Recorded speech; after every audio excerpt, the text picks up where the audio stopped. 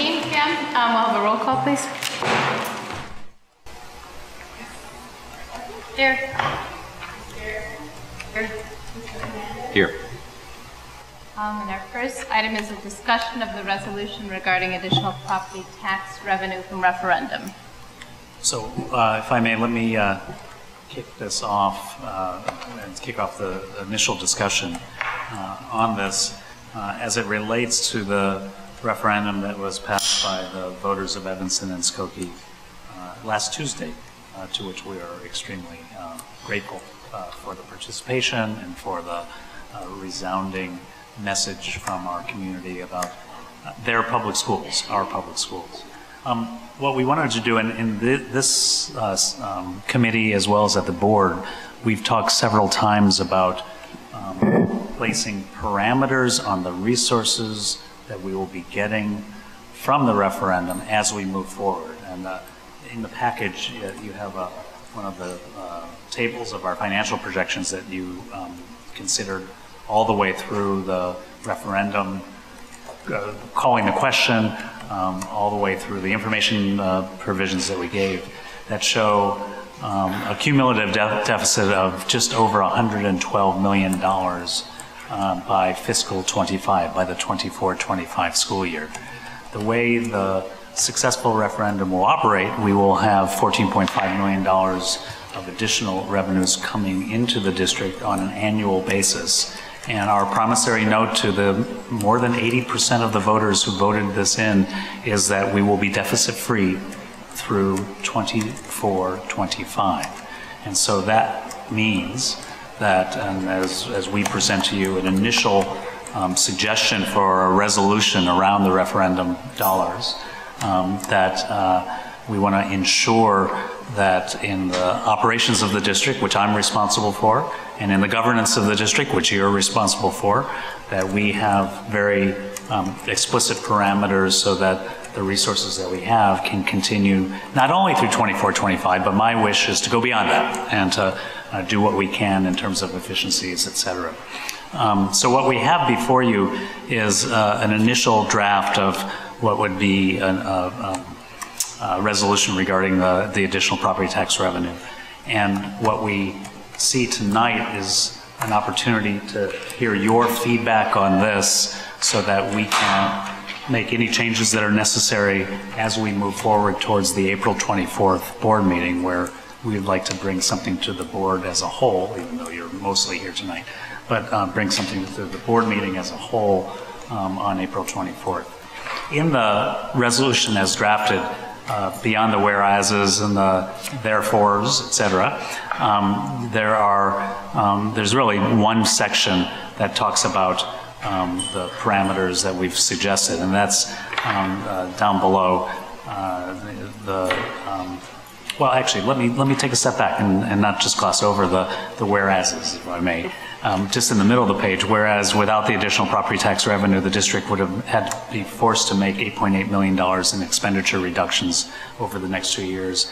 And then, um, whereas we've generated the resources to be able to um, really focus on eliminating the projected deficits, what we're, um, what we consider is most important is for the board as a whole um, uh, to set guidelines for us that make sure that we will eliminate the pro- uh, projected deficits on an um, updated basis and be able to report that, um, and that we'll be maintaining healthy fund balances as we move forward. Um, Even as I present this to you, I think we should be more specific, and, um, and I'll look to some more of your feedback, excuse- me, uh, on this. But let me give you three more areas where I think we can push ourselves in this draft. One is that um, we should be prepared for the administration to present to the board as part of our regular budget presentation um, how we will focus on referendum deficit management. So we want to be very specific in our budget presentations on referendum deficit management um, uh, um, procedures and processes. Two, we want to be explicit, as we were during the referendum uh, information sessions, that we will do our best efforts um, on an annual basis to put at least a million dollars into the fund balance, as we promised, as we presented the information um, uh, to the community.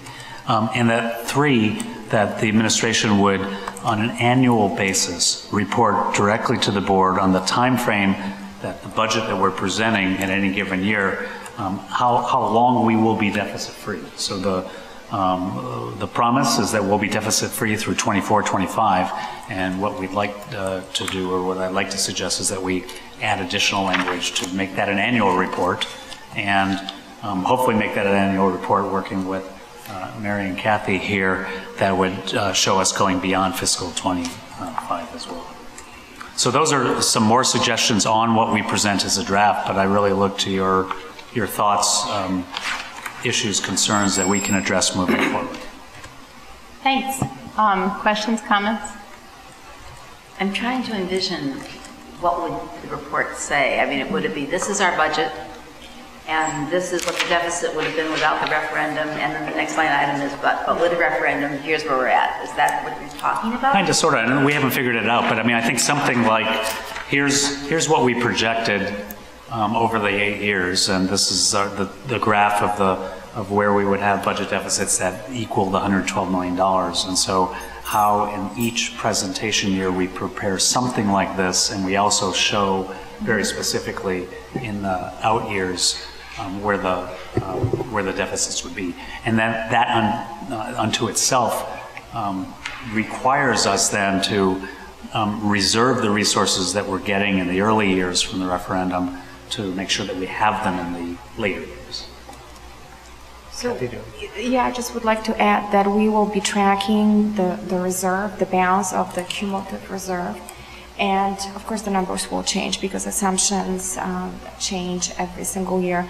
But we will be able to track, and I think we will be probably incorporating this piece of information with our annual uh, financial projections, which will be presented actually next month. Um, So I think it's possible to incorporate that information um, annually or twice a year because we update financial projections with our budget. um, um, Update in September and give you that information so you are, you know exactly where we are with that reserve. Um, And, I mean, depending on economic situation, what's happening with the state, with the CPI, if it's favorable, we should be able to stretch that um, um, being in the, in the black beyond fiscal year 24, 25.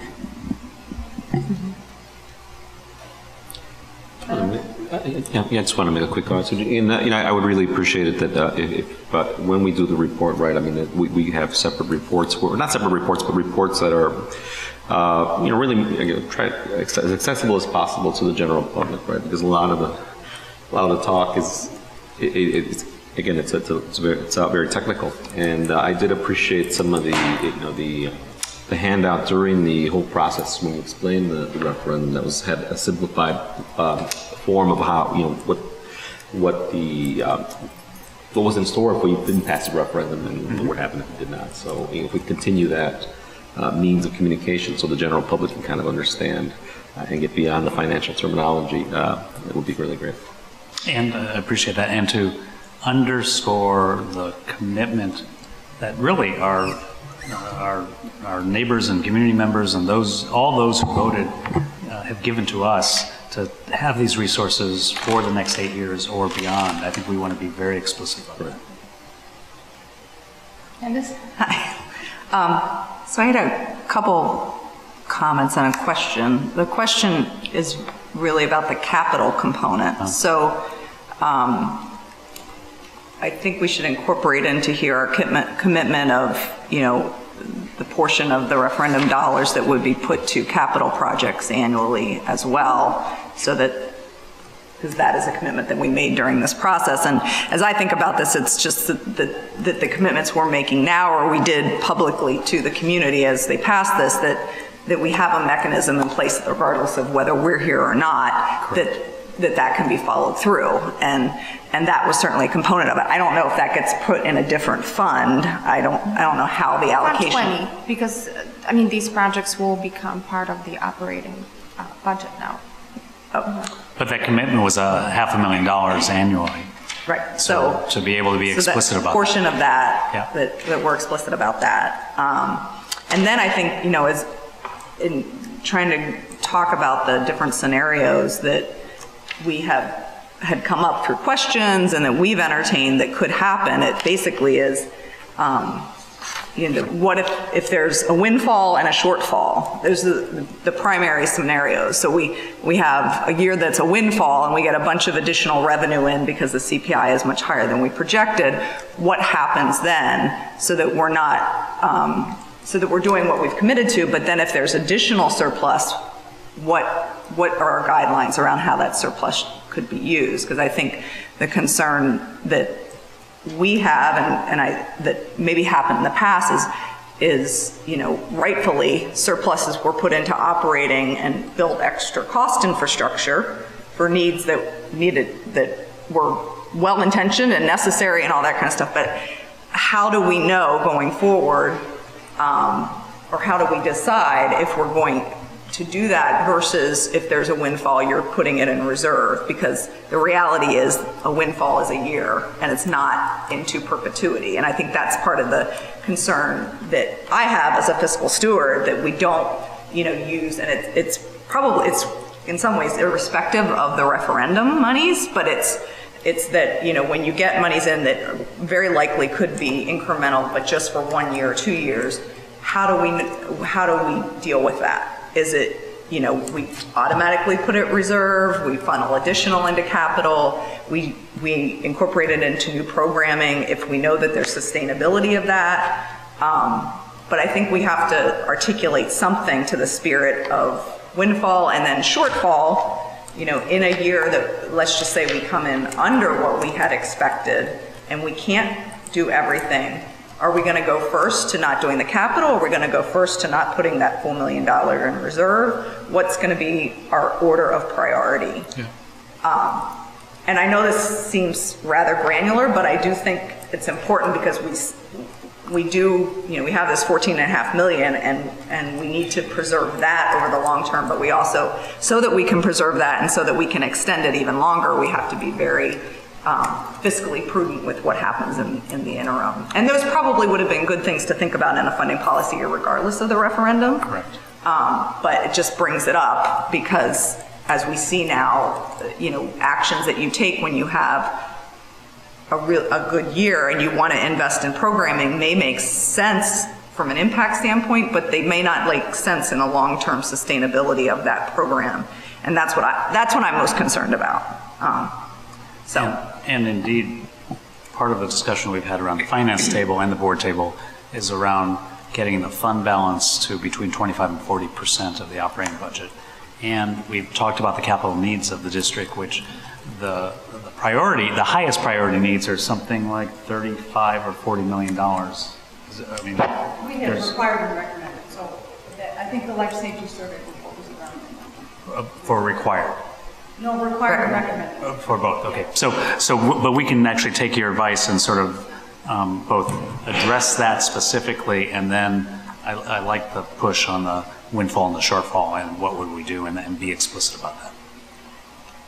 I don't want to, you know, I wouldn't want to hamper us too much, but just to have guidelines and But to put it specifics. there, Because yeah. the way the language is now, if we just say, you know, to make us deficit-free based on projections that are going to change annually, we could just, you know, we change our budget and we say, oh, well, we've got to spend $2 million more this year, then it just modifies. So it- we have to start from, if we're going to use the 112 million over the course of the years, that that's where we're tracking from. And that any variance against that, plus or minus, we have to, we have to be accountable for and we have to, you know, talk about, seriously talk about before it can be implemented. Yep.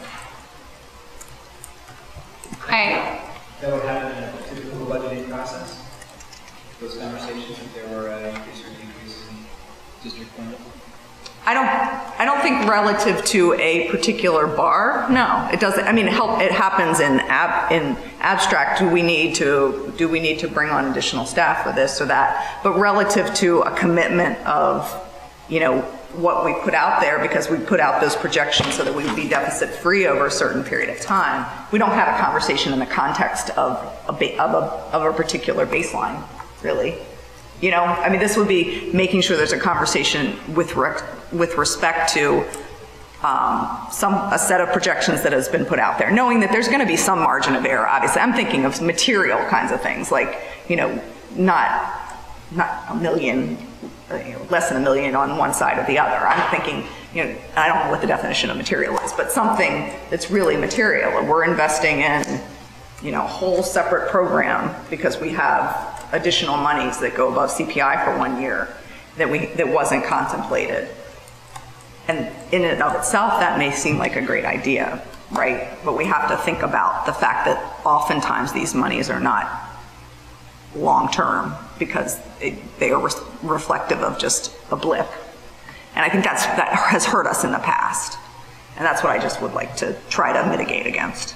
But I'm wondering if that kind of thing is better, as opposed to in a resolution like this, if that's better dealt with in, offhand I'm thinking like in our policy around pilots, that part of how we analyze pilots, if it's something we want to adopt, is sustainability with the dollars that we have and things like that. I just, I mean, I hear what you're saying, and I think that's good practice just in general. I'm trying to figure out how that would fit into a resolution like this.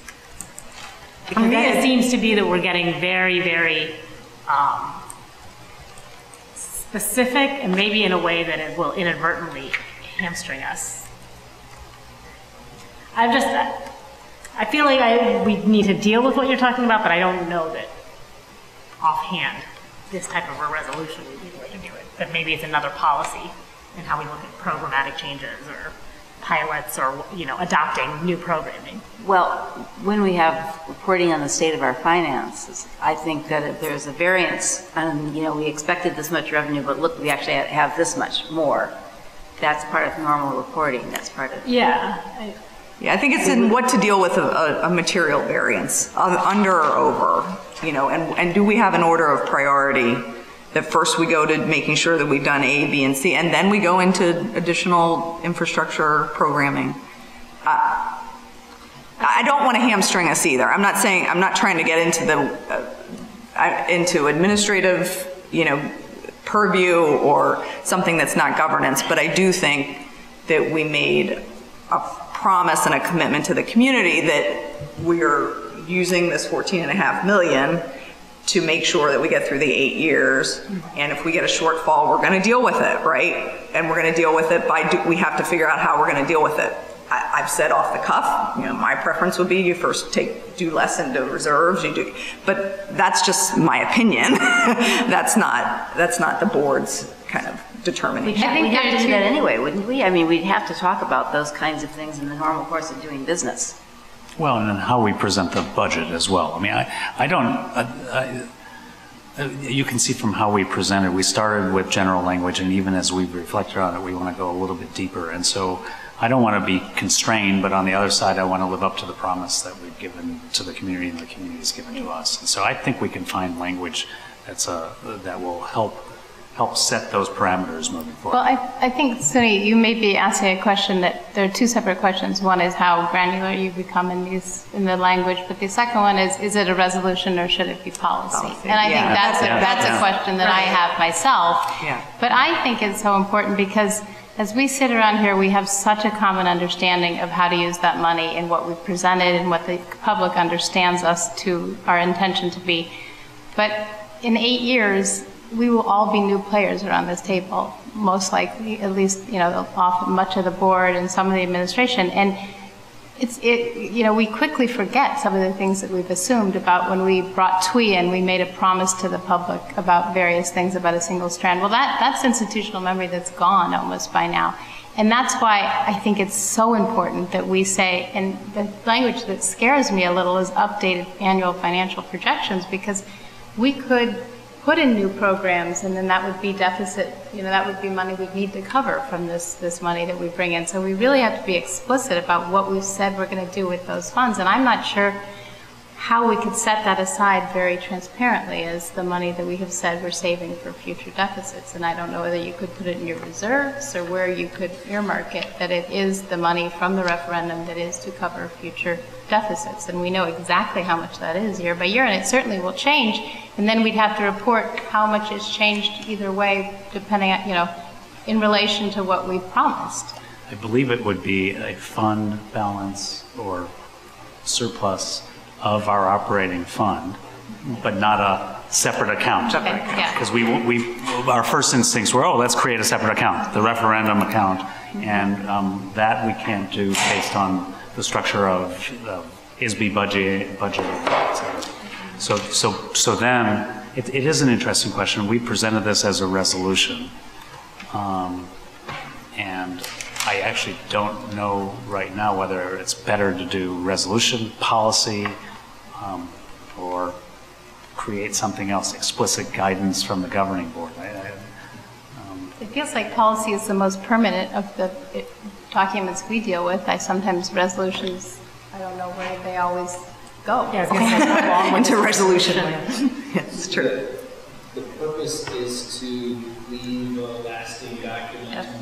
To your, And- this board's intentionality around how to, how these, why the, why the referendum was requested and how we did use it. Yes. Not to the one board to manage a different board's decision-making around budget. That'll be, six years from now, there'll be a different board that will need to make their own decisions. Well, except that the, this board and this community right now allotted $112 million for the next eight years. Right. And so somehow we have to have that language set to, I mean, that's the, that's the push to, hmm. for us. And it's, I- I'm, I'm doing this push as well. I think it's actually really important, given the last months that we've been working together with board members and the community, that we come true to our commitment. And so we've we have to have some statement that way. The, the, the turning the dials, if I may, on the budget and where we make budget choices, um, we, that's our prerogative to bring forward to, uh, to you guys as a governing board.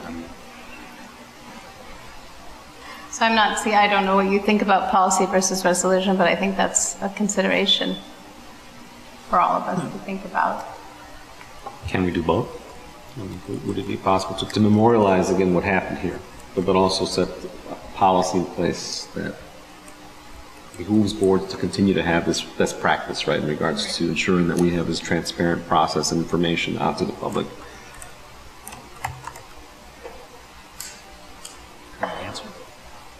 we can, we can, we can try to. I, I wouldn't, I, I'm, my preference is to bring forward one or both, or the guidance statement to the April 24th board meeting, as this board is sitting and you are the governing board as the referendum was passed. So I, my preference is to get this done um, accurately, but as soon as possible. Maybe a ref, a resolution to set the stage, but there might be specific items that would move on into policy. That's Right, us. no, and I guess, you know, in terms of looking at how we deal with windfall, maybe that is where. Yeah, maybe that's line something crosses separate. into that policy, Yeah. we're talking about this specific money, and we're gonna say, you know, after the end of the first year, we will have this that we set aside for future deficits. And you can spell that out, if there's any material discrepancy in whatever amount we're putting aside for future deficits, then there has to be some sort of accompanying explanation. right. Of why that is, whether it's plus or minus. How are And we- Maybe that's the way to do it. I don't, I mean, I, I like the idea of maybe a resolution and then thinking more deeply around policy and just um, not rushing um, to set everything in stone and maybe not having time to discuss it in as much depth as we need. I'm, I keep hearing us referencing material um, difference, material windfall or shortfall. How, do we have any idea how we're defining what material is? I think we would have to define that in Right. whatever the That's part of resolution is. We'd have to say, that's, you know, if it's an X percent difference. Right. That that, we would need some, there would have to be a presentation with budget documents or however it would be. Do we have any initial inclinations? Well, we have a baseline here, so that it would be based on the baseline that we've presented. Um, And then we'd have to think about how to operationalize that. Yeah, the current assumptions. I just, I just, there, there are current board policies on fund balance, revenue investments, current debt, insufficient fund checks, that are so there's a number of board mm-hmm. procedures in place now, and it makes sense to start with those and do some review about whether current policy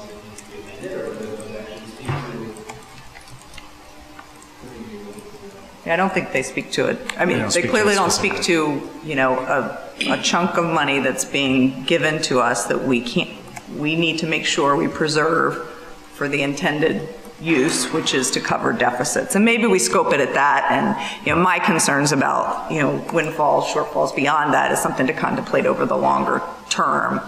But for speaking of, you know, what's going to happen with this, you know, 14.5, in, the- especially in the early years when there will be excess funds, what is going to happen to that so that we ensure that we're preserving it to cover the, the out year def- deficits? That's what we need to speak to, I think, and that is what, something that this board needs to speak to and needs to be adhered to, you know, or unless someone, another board changes it, but they have to lis- literally go through a But that process to has to change be it because it transparent. has to be a transparent process because that's, that's the deal that we made with the community and that's the commitment, you know, kind of the mutual promise that we made.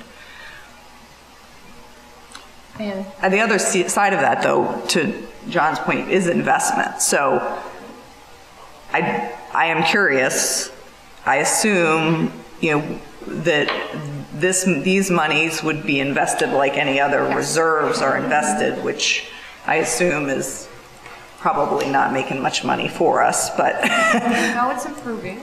It is, yeah, but all of our money is invested, but we, we are very limited where we can invest. I mean, it's all uh, CDs and collateralized deposits. Um, But no, we, we, all the money, that's why we work closely with PMA. We do the cash, cash flow and see how much we can invest uh, long-term. Some of these um, uh, funds could be potentially invested long-term Right. and earn slightly higher um, interest. So I think that's something that we potentially could speak to, you know, to the extent that we can, we can optimize the investment value of this money too. That's another reason for it to be preserved and that we could invest some of it in a longer term, you know, a longer term yield for a higher yield. Um, then that will make, you know, we're just doing a better job with the money. So maybe. Still the- being a very conservative investment, I'm not saying. Maybe what we should be doing is, um, well, what we should be doing is taking the feedback that you're giving us, come back to the board on April 24th with resolution language that's even slightly more explicit but not so specific. And a game plan for what the next steps are. The next steps being um, establishment of a policy or policies, um, um, some sort of specific guidance. We'll we'll have to figure out what the right avenue is, and then we can, we can have both of those as a, a package together. Although I think that the policy, there is a lot more thought and talk about the policy, but I think in the re- resolution, just the general outlines of what we're saying about the money being set aside for the deficit in future years is pretty straightforward, and it should be somewhere in the resolution, not a vague, we'll look at the budget updates, and, you know, I think it needs to be a lot more specific than, I'm not going to start crafting it, but I do think That's, we need to be really clear in the same language that Candace was so not at. conditional language, explicit Yes, language. explicit and language, This is yeah. where the resources Yeah, are and what uh-huh, they're for. exactly. Right? I think that's I think that's a good important. suggestion. Can we make, I'm sorry, can we, can we make sure we also ensure that we- we're using that equi- equity assessment tool as well during the budgeting? I mean, just so- to ensure that we're embedding equity in, in, in our um, um, budgetary decisions as well, so. it's- And that's part of our equity statement and policy statement, but. uh, Any other thoughts, comments? Um, Just one minor thought, or not so minor, but we were also very specific about what we were doing with technology. So that would be part of keeping that in, up there. We had some very specific plans for moving it out of capital That's into specific technology investments, that's it. Oh, Yeah, Thank And and you. was it part of our nice bar graph? Yeah. So we should keep in mind that, that we should, we want to do that, and that's part of what we report on. Probably by the same token, the capital money should also be in there too. Well, that's. So well, just, so what we're going to do is come back with resol- resolution language that's more specific than what you have here, um, and not conditional, but explicit. And a game plan for the development of policy or other directives that we move forward and that we'll spend more time on as we move forward. And we'll bring that to the April 24th Great. board meeting. Great. Great. All right, thank you very Thank- much. Thank you for the feedback. We appreciate it. Um, Our first action item is the minutes. The Finance Committee recommends that the minutes of the March 13, 2017 Board Finance Committee meeting be approved as presented. A second? Yes. Yes. Yes. Um, Second action, the building use agreement summer 2017. The Finance Committee recommends that the 2017 summer building use agreement be presented to the full board for approval.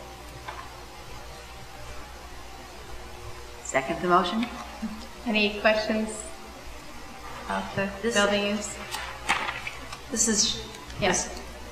maybe we should, for people watching or whatever, explain what this is, so we do it every year. Sure. Every year, we bring this to the board, so it's, it's fees to determine the cost of the uh, outside organizations that do pay rent to use our buildings during the summer for various summer programs. And we're recommending a 3% increase in line with past increases. Thanks. Any questions about that? Okay, roll call? Yes. Yes? Yes, motion passes. Um, The weekend holiday building security services contract extension. Yes, we've been using uh, Phoenix Security since uh, 1998. Um, They have provided, uh, they provide weekend and evening, um, uh, I'm sorry, weekend and holiday security for our district. It's a very good value. Uh, They, they do employ a lot of local uh, minority uh, people under the direction of a former Evanston police officer, and we are recommending a two-year extension of this contract. Thanks. Questions, comments? Roll call? Mr. Yes. Yes. Yes, motion passes. Um, a- Appointment of new school treasurer. I'll take that one. Um, So we are recommending that Kathy Zalewski be appointed the new school treasurer for Evanston Skokie District 65, effective July 1st, 2017. She holds uh, both a CPA and a chief school business official, a CSBO endorsement. Um, One or the other are required by the state. She happens to hold both. Thank you, congratulations. Any questions? Okay, roll call, please. Yes. Yes. Yes, motion passes. The last action is the transportation fees for FY18. The Finance Committee recommends that the 2017-18 transportation fees be presented to the full board for approval.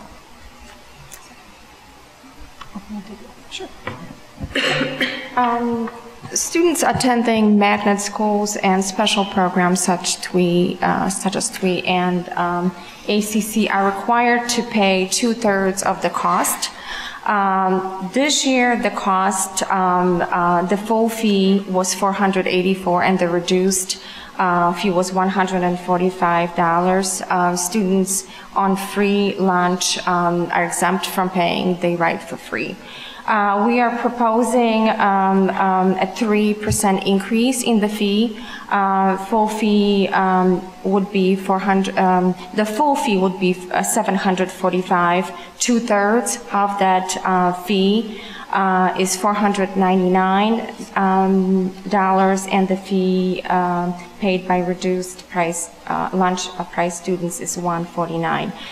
The total cost that we spend on transportation costs is, um, for these students, almost uh, slightly over half a million dollars. We collect only uh, $52,000 from the state. Um, We're not going to be collecting uh, a huge amount of money from our full full lunch students, only about, and reduced, only about $70,000. So the district will still be subsidizing approximately 400,000 um, of that cost. Questions?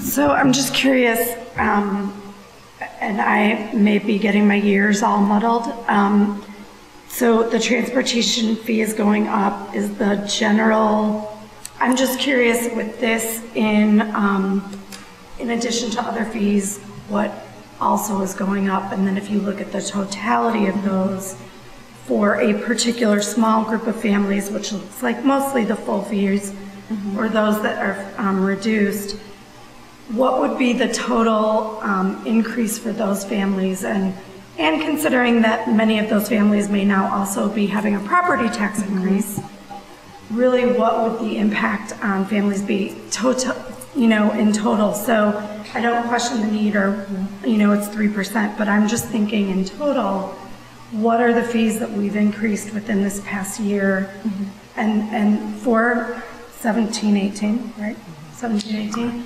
And then on top of that, what we've really, what the community said they'd be willing to do is this another fee? I, you know, I'm just thinking total-wise, the impact that that may- might be on families, and then what are we really getting out of it?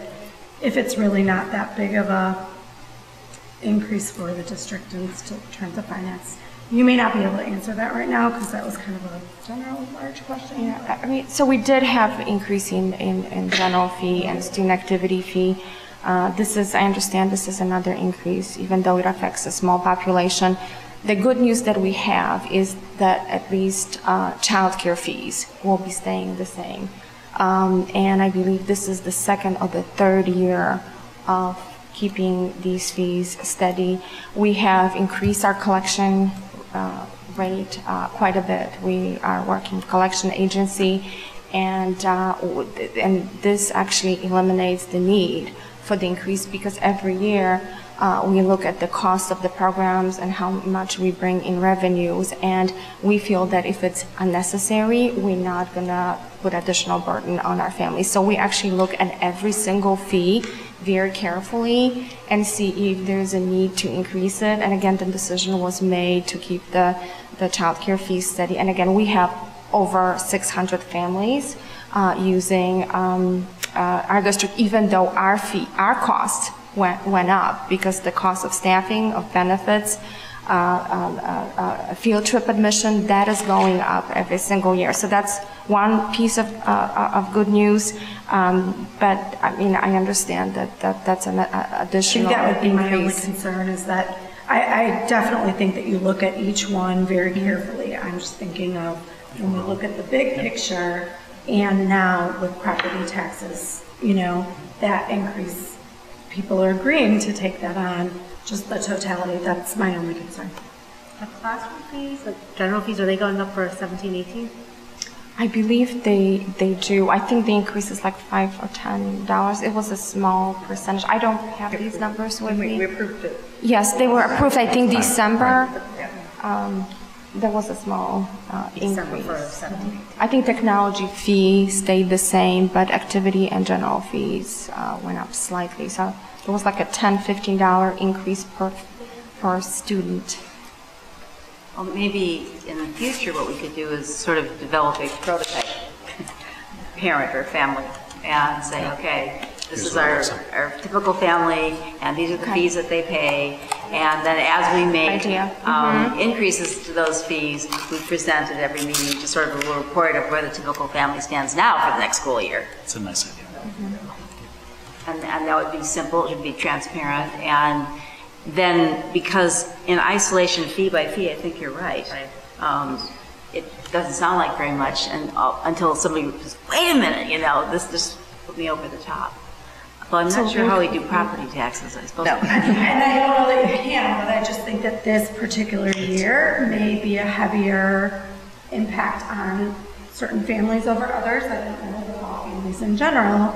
If you're doing bus and you've got two or three kids who are coming, all of those fees increased, and your property tax, like, that may be a big hit for certain So maybe we families. delay this increase. That's all, I'm just, and maybe the layering, I'm not saying there's not needed, but I think if you look at the totality for this particular upcoming year, And I just want to mention that we do offer administrative waivers.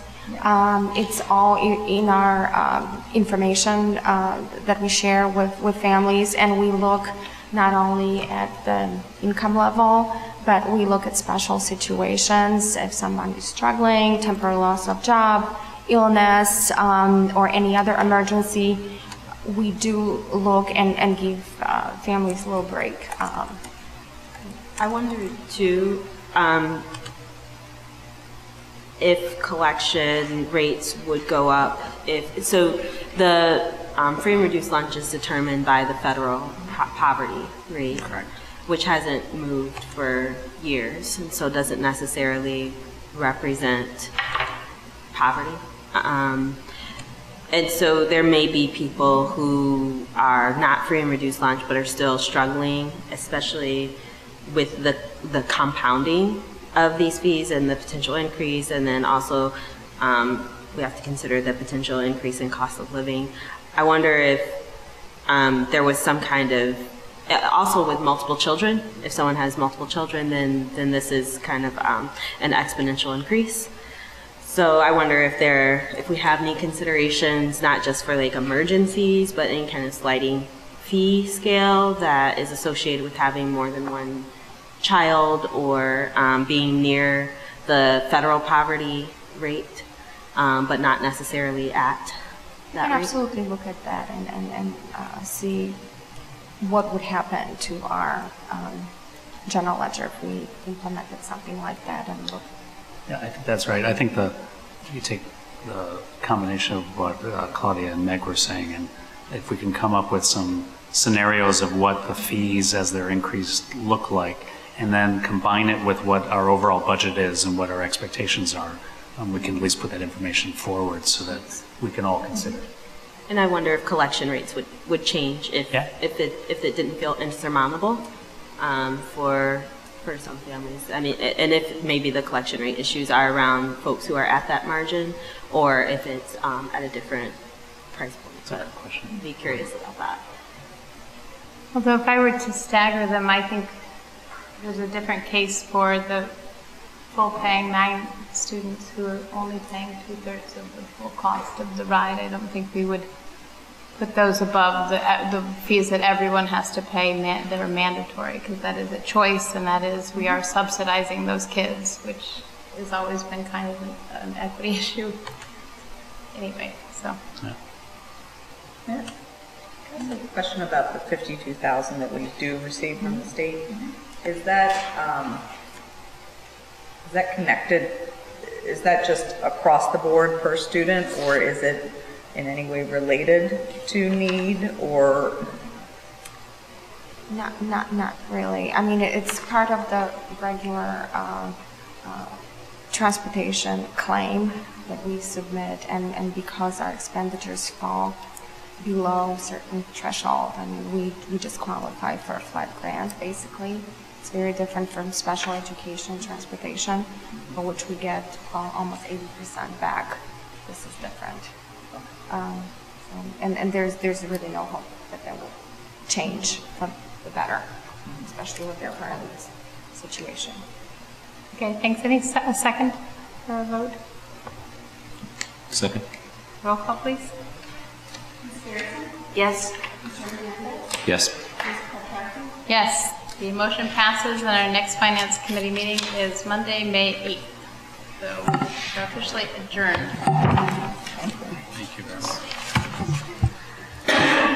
okay. So for those of you who are going to stay around for the next meeting, um,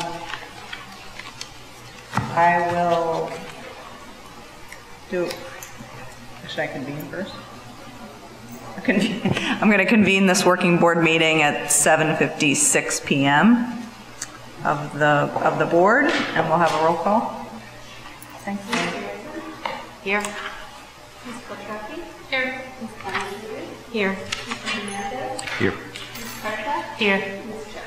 Here. So our first items, we have uh, items for discussion are, it- the first item is the school year draft calendar for 2018-19, which is in your packet. And That's Beatrice. Um, So we are presenting the uh, 2018-2019 draft calendar. Beatrice, you may want to use the microphone. Oh, sorry. Thank you. So in your packet, you'll see the 2018-2019 draft school calendar. Um, We developed this calendar to uh, meet the goals that were um, expected with regards to aligning this calendar with 202 for um, the start date, our uh, winter recess, spring recess, the majority of our uh, non-attendance days, which we have done. We've also made sure that we have 176 days of student attendance as required um, by Illinois state law, and um, 180 work days for our school teachers uh, as well. Um, I don't know if you have specific questions that you'd like to ask regarding this calendar. Let's take any questions? Or Comments?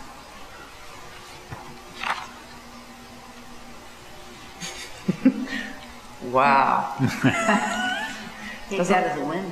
I, Yes. Oh, no, I Just- see Jason. Casey's got a question. You have a question? I know that this was all tied up in, in negotiations and everything, but is there, I, I know there had been talk about the professional learning day and s- mm, ch- talk, talking about sort of a more comprehensive overhaul of your thoughts about it without doing anything major in terms of the time. Is that set? You're, you all are, are kind of settled on the Wednesday? I think perhaps it's something that may be reviews, visited at a future point in time, but not for the 2018-2019 school calendar. Other questions? No? Well, looks like you have a winner. We may have other questions when it comes back again, though, you know. that's happening. Thank you, Beatrice. Okay, so we move past our first one. Um, Now to talk about the summer professional learning program. Um, There were a- a number of things in the packet, and Stacy, do you want to? walk through a couple slides that capture and summarize some of the, the, memo. I need a paper copy if there. Take the mic, take the microphone, please. Oh, thank you. I handed it over to Beatrice and didn't reclaim it. Thank you. Thank you. All right, so I'll go ahead and I'm going to summarize some of the information that was in the memo. The four slides that I'll walk through on that. It's just one piece of paper, short and sweet, um, but wanted to make sure that, just kind of walk through some of the high points that we needed to cover. And I'm going to try to operate my computer and that one simultaneously. Um, To give you a little bit of backdrop, summer professional learning projects is something, thank you, Ms. Gadd, um, is something that, it's an annual process in District 65. Um, In the past several years, we have repeated a process where essentially an, an email goes out to all educators in January offering opportunities for summer professional learning projects. Educators have an opportunity to propose ideas. Those ideas are submitted by a deadline. Educators then present the ideas to CAC, which is the Curriculum Advisory Committee, which has two members from each school present on the committee. We gather the feedback from CAC, and then Curriculum and Instruction meets and makes final decisions around the fund, well, final recommendations for funding, and we bring it to you for approval. Um, The process this year was similar, but a little bit different for a couple reasons. Um, Each year, we review the projects and really determine, are the criteria the correct criteria based on district priorities? A couple years ago, we reframed it for alignment with strategic plan, had some emphasis on formative assessments, other areas that were aligned, that were called out very specifically in the strategic plan. When we came together as a group to talk about criteria for summer professional learning projects this year, one of the things that was really at the forefront of our conversation was equity and the equity statement. And so what the slide highlights and kind of the criteria section with the memo, within the memo highlights is that the criteria for evaluating summer curriculum, summer professional learning projects this year is first, do the projects advance equity based on the district equity statement? And the district equity statement calls out a number of ways in which projects can do that, but that was a very important piece of criteria that we were looking for within projects. Additional criteria that we did consider were the opportunity to bring teachers together from multiple schools. Summer projects are a really great opportunity to do that. It's difficult for educators to do that during the school year because we literally, you know, frequently are within our own buildings unless we, uh, we are committed to committees beyond the, you know, beyond the school day, the instructional day. So bringing together teachers or educators from multiple schools, bringing together educators in different roles, so opportunities for collaboration to occur that ordinarily, again, might not be able to occur during the regular school year. Um, ability to utilize technology or have applications for technology implementation, so looking for ways to advance 21st century skills. Um, target groups of students who are most at risk are striving students, for not meeting standards, and then further advance the district's strategic plan and school priority areas. So not all projects by any means needed to meet these criteria, but this is a way of saying equity is very important when we're evaluating these projects, and these additional criteria are elements that we consider as we're discussing these projects. Um, to review process, as I said, applications come are shared with the district-wide district-wide educators in January. They had until March 1st to complete the application. Um, the CAC committee had some feedback to us on how to improve this process from last year. Last year, we had one day in March where we presented all of the projects. Um, that meeting was turned out to be quite long, and people felt like they didn't have adequate opportunity to ask questions around each of the projects. So based on input from CAC membership, we split the presentations this year. Any presentations that were sponsored by a JEH employee, instructional coaches, a department chair, a lead of some sort, were presented in February, and the idea was that these were not people that were working directly in classrooms day in and day out.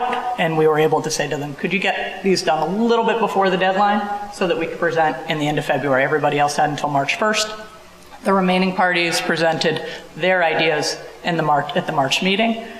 All members of CAC had an opportunity to fill out feedback for each of the projects at that March meeting. The information from the survey was taken to curriculum and instruction meeting. Um, at that meeting, we took the criteria and the feedback from CAC, as well as the amount of money that we had to allocate to the projects this year, and then decided, came up with our recommendations for you for funding these projects. A second avenue that is a little bit different um, this year is that we have several, so last year, one of the things that we talked about as a board was a curriculum review process. We have several departments that that are in the middle of a curriculum review right now. Science, all of the arts programs, so instrumental, music, fine arts, drama, are in the middle of a review, um, as well as library. Each of those groups were interested in receiving funds for summer, for summer projects. Our concern was that if we supported those projects, we would really limit the opportunity for teacher projects and innovation. So what we did this year is we worked on on essentially, well, we're requesting additional funds to support projects for new course projects and new curriculum projects. And we have funds in the curriculum and instruction budget to support this. Um, the new curriculum projects, excuse me, the curriculum review projects, would that fund, those funds support teachers and our department chairs to continue the review work over the summer that needs to happen in order to help those reviews come to a strong conclusion. The other area where we're asking for funding in our summer professional learning projects is to support new course projects. We'll discuss this more in the, of my next presentation, but part of the outcome of the negotiated contract is that kindergarten through fifth grade teachers will have a fifth period planning period in the upcoming year. This, the impact of this is that students need a fifth class in order to fill that opening and to release a teacher for that planning period. And so we need the opportunity to develop out that course, and we'll talk about what the recommendations are for that course in the next presentation. Um, so there's funds that are set aside to support the development of the new courses. My concern was I didn't want the curriculum review needs and the new course needs to trump or take the place of the opportunity for teacher innovation. So specifically, we're asking for 20, just over $24,000, 25, just over $25,000 to support refining existing curriculum and curricular innovations. And those are the projects that went through CAC. And we're asking for an additional $81,000 to support the new course projects and the curriculum review projects. All right, and that's kind of the, those are the specific numbers. So if I can open up to questions? Who would like to go first? Thanks, Stacy. I have just a couple. Of course. Um, of course. No, just, of course, bring, yeah. Not that way, I'm Claudia, not I sure apologize. That's what you meant. That I'm ambiguous. Um, There's, nobody changes the name of something for just out of whim. And so for years and years, um, the, what we're, the group that I'm looking at now were called summer curriculum projects. And now they are, what do you call them? Summer professional learning projects. And I want, and this has got to be significant. It actually is not. I, I think of them, I, you know, I went back to last year's memo and it said summer professional learning projects, so I went with the title summer professional learning projects, and I do believe that's the way it's referred to within the contract. I do tend to think of them as summer curriculum projects because that is what a lot of them are, but the title in the previous year's memo and the way it is referred to is summer professional learning projects, so it is not significant.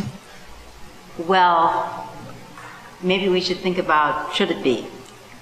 Because is an intent of this to be part of our professional learning that we're committed to? Is a component of working on these projects or submitting a proposal for one of these projects, is this part of what helps an educator grow?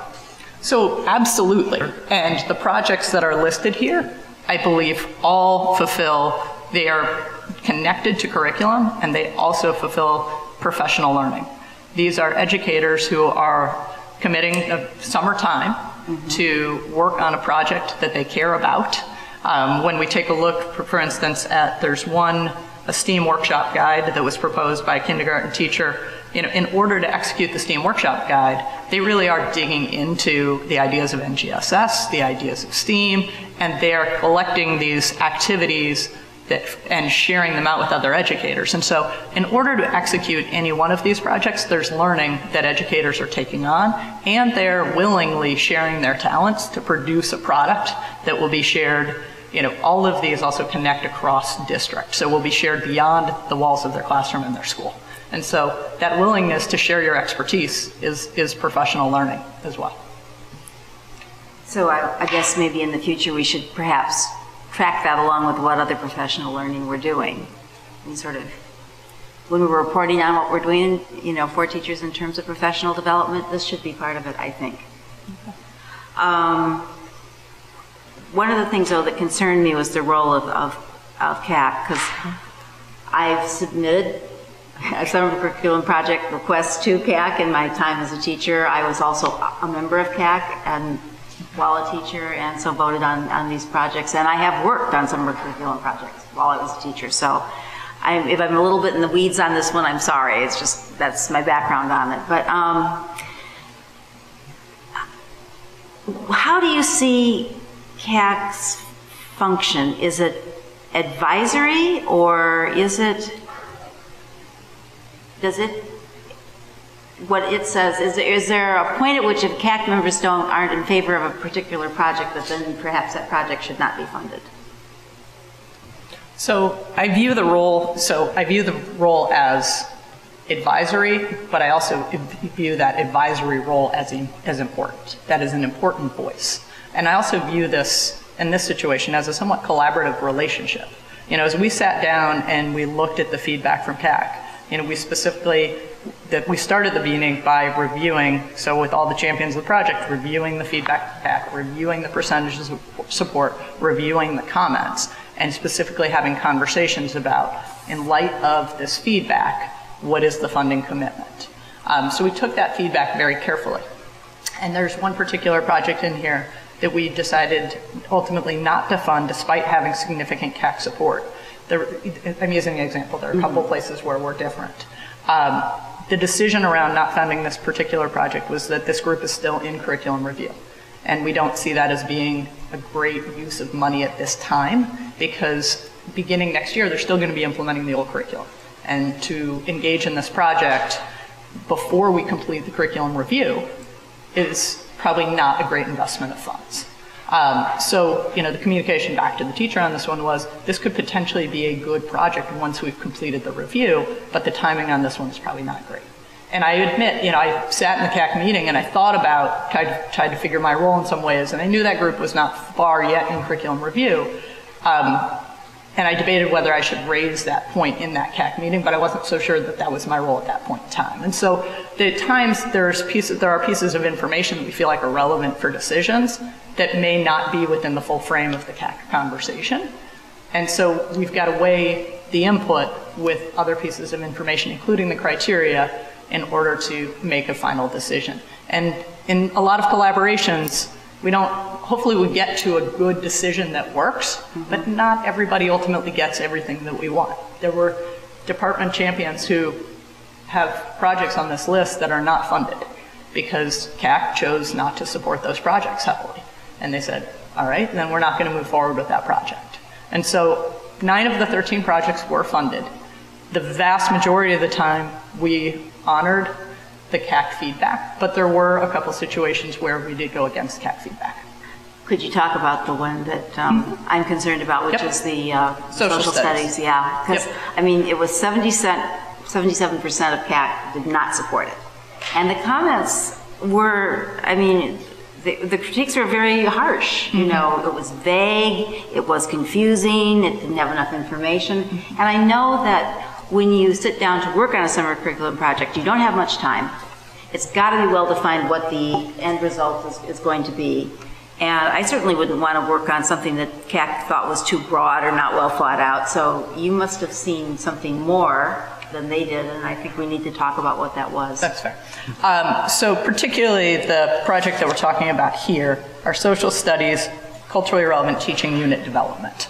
Um, this particular project received low support from CAC. Um, Claudia adequately captured some of the feedback. Um, there was some positive Feedback feedback. we but there was a- The feedback is not in the packet. The proposals are in the packet, but the feedback from CAC is not in the packet. I did some research. Okay, I just Yeah. thought I missed something. So specifically, I think there were a couple challenges with that proposal. Um, One, there was a miscalculation in the amount of funds required. The proposal was shared. The quality of the presentation could have been, been better. That is absolutely true. And then there was a realization that the calculation of the amount of funds required for the project was off. I do think, based on some of the comments, that that impacted some of the people's, you know, support because they weren't clear as in regards to the amount of funds that might be spent on that, that kind of thing. As we stepped back and looked at this, we initially passed on funding that project. We went back to that project because for a couple different reasons. One, there's a good connection to equity. We are specifically trying to think about in that K- K2 space, how can we develop a social studies unit that really connects to culturally relevant teaching, which is a strong connection to the equity statement. Additionally, there's a strong connection to the literacy work and the strategic plan. Um, with the literacy work and the framework we discussed last year, we really have tried to break apart the different components of literacy and work on building our capacity. Gradually, we put these things back together into an integrated literacy block.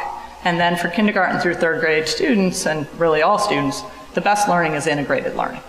And so we see as we're looking down the road, needing to draw greater connections across the instructional day. So teachers feel, teachers can see where literacy is more strongly connected to social studies, literacy is more strongly connected to science, so that we can get a more integrated day for students and teachers.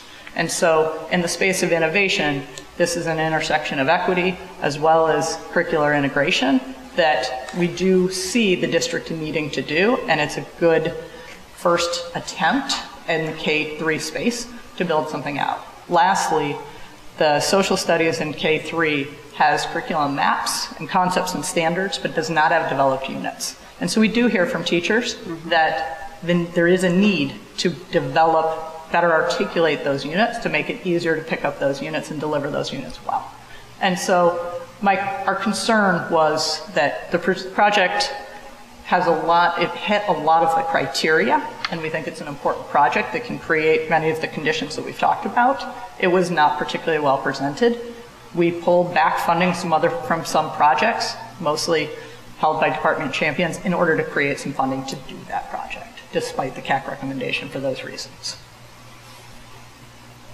Do you feel that you're sort of brushing aside CAC, though, in an instance, in this instance? I just worry that um, if I had gone and spent the time and made the comments and did the voting and all the things that I would do as a good CAC member, I'd be a little bit, um, I'd probably be really irritated that on this particular one being funded, just given the feedback that you had.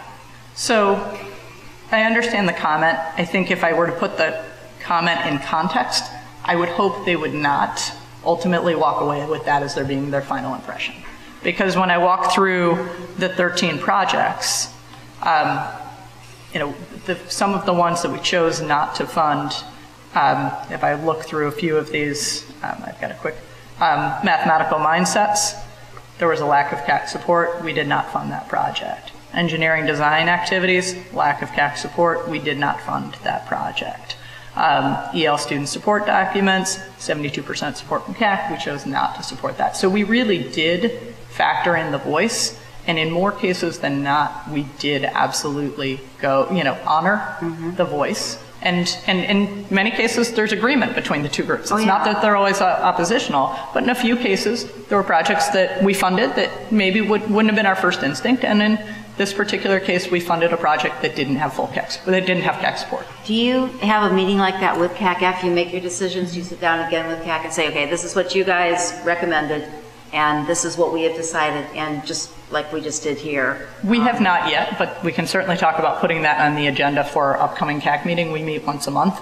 And so the recommendations came out in the end of March. We've, you know, and we're talking to you today. We meet again in, I think, two, it's two weeks. Yeah, because I, I would feel better as a CAC member, if I were a CAC member, um, to at least know the reasons why. That's very fair. That's fair. And I think if, you know, to the extent that can happen before it gets, I mean, hearing this conversation is helpful as a board member too, because I had those same questions of why in these couple of instances was there a difference between what CAC was supporting and what was being funded.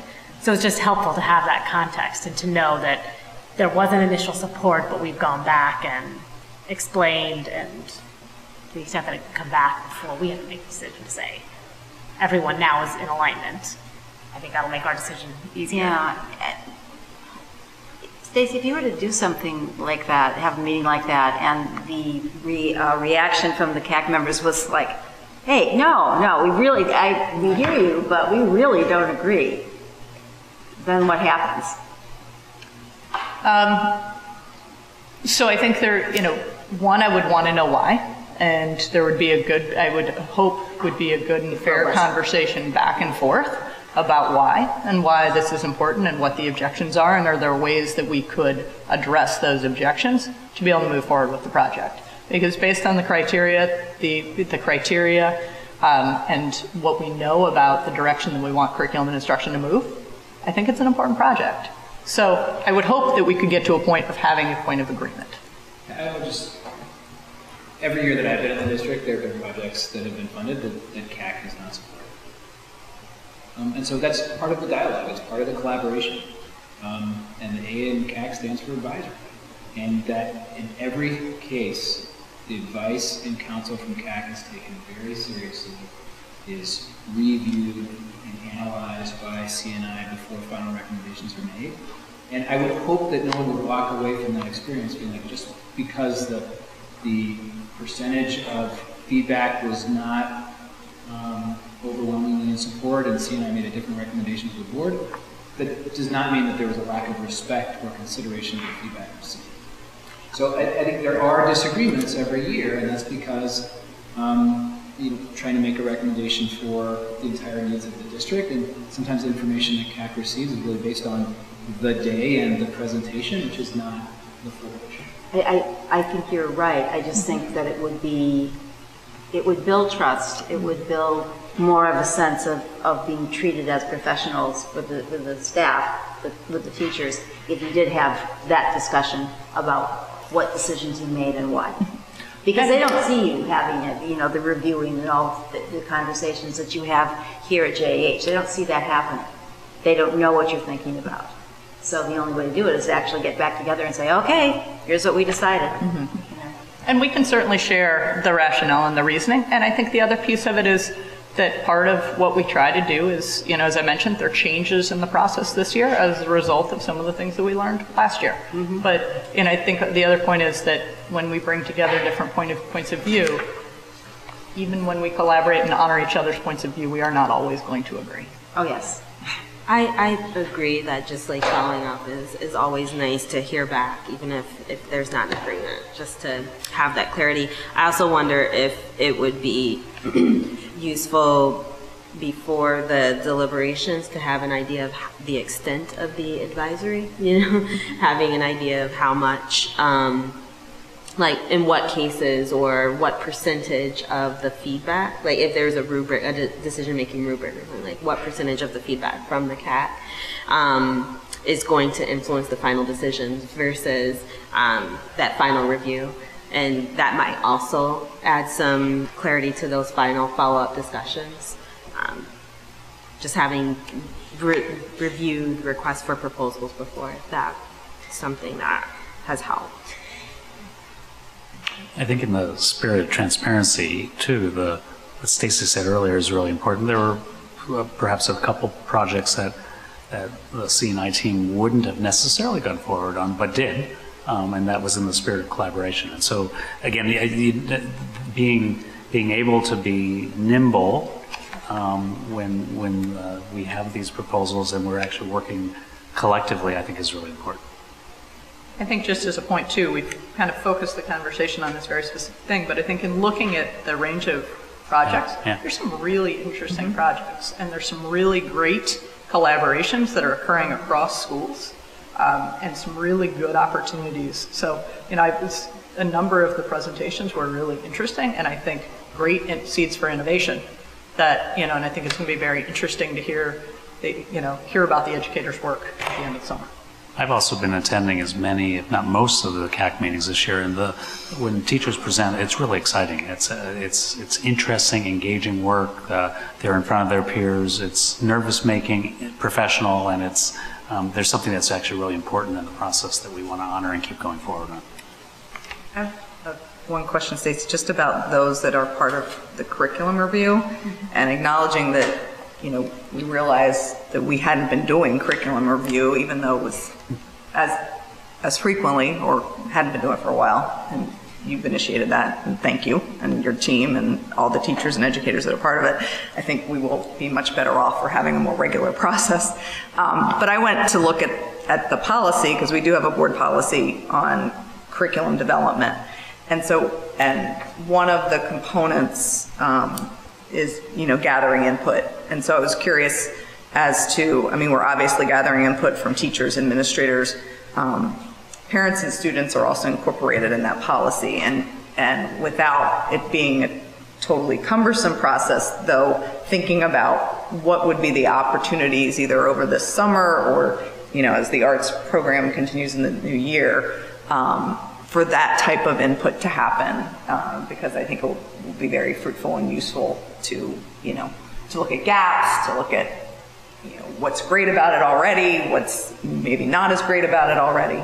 Um, and have, you, has the team thought about that at all? So there's, there have been, there is, at this point, we have not talked about a consistent out- outreach process. Each group is dealing with it a little bit differently, but it's a place I can definitely go back to and determine the strength at which we're doing that and certainly strengthen that process, because I don't think that's a particular strength right now. I think, you know, I'll actually present a little bit of our process in end of May. I think where we have really strengthened the process is through these advisory meetings that each review has gone through, and we worked on engaging outside community components within those advisory meetings. And there was also aim at getting ET ETHS at the table for those conversations as well. And so there are different levels of collaboration, but we do need to take a deeper look at most specifically the parent collaboration. And this is all evolving, obviously. I think that those, that, especially for students, that will be important for the new courses, you know, as, as you're looking to evaluate the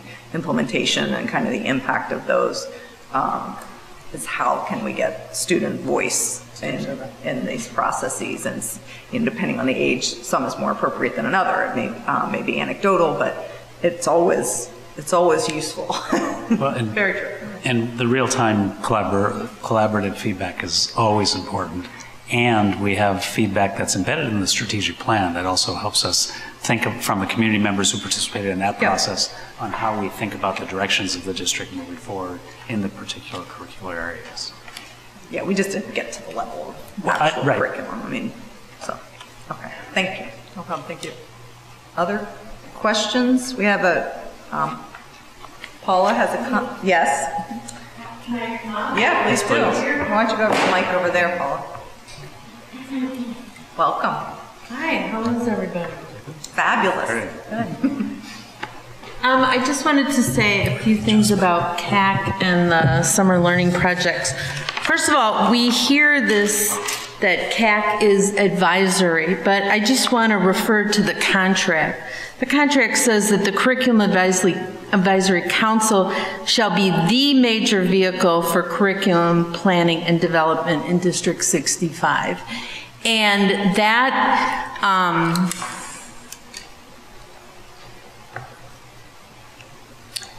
that's not always happening.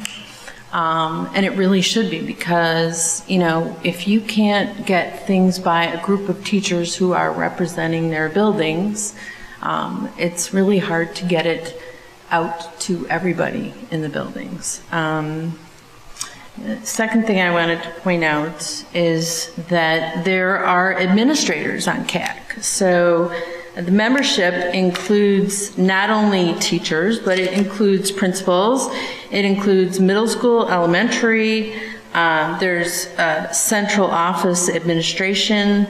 Um, so, you know, if, if the projects aren't getting support, they're not just getting, not getting support from teachers, there are administrators on CAC as well.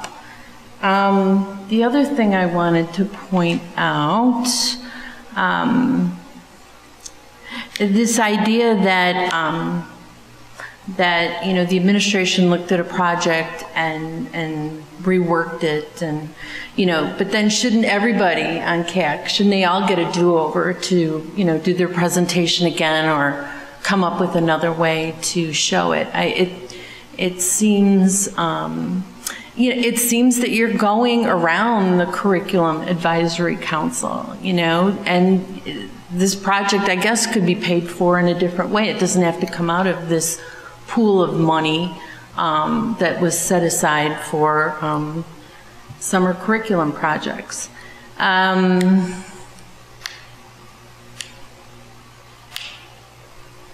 Oh, also, you know, why, I, I guess I have a question about why wasn't the feedback that the teachers and the administrators gave, because we could type in comments, why wasn't that also shared with the board so that you all could see, um, um, you know, why the teachers uh, had strong support for some projects and very minimal, if any, support for others? Um, And that's it. Thanks. Can I ask a question? So, in, in your experience, you know, your colleague's experience. Yes. Uh, through, through this yearly process, Mhm. um, you know, what, what has been the um, outcome? So let's say, you know, last year you guys met and, you know, you, CAC decided on, um, and the administration decided to go with certain projects. Uh, what's, what is your, um, opinion in regards to how it, it's unfolded? Once, once these projects are, are, are, you know, set forth and decided upon and So how, how does it turn out? How do the what's it- projects how does it turn out? Um, generally, they, I believe they come and present, um, in the fall. Mm-hmm. So they'll present the, um, the work product.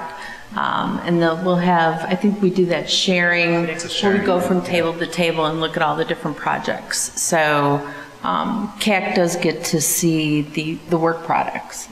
Um, uh, is that, does that answer your question?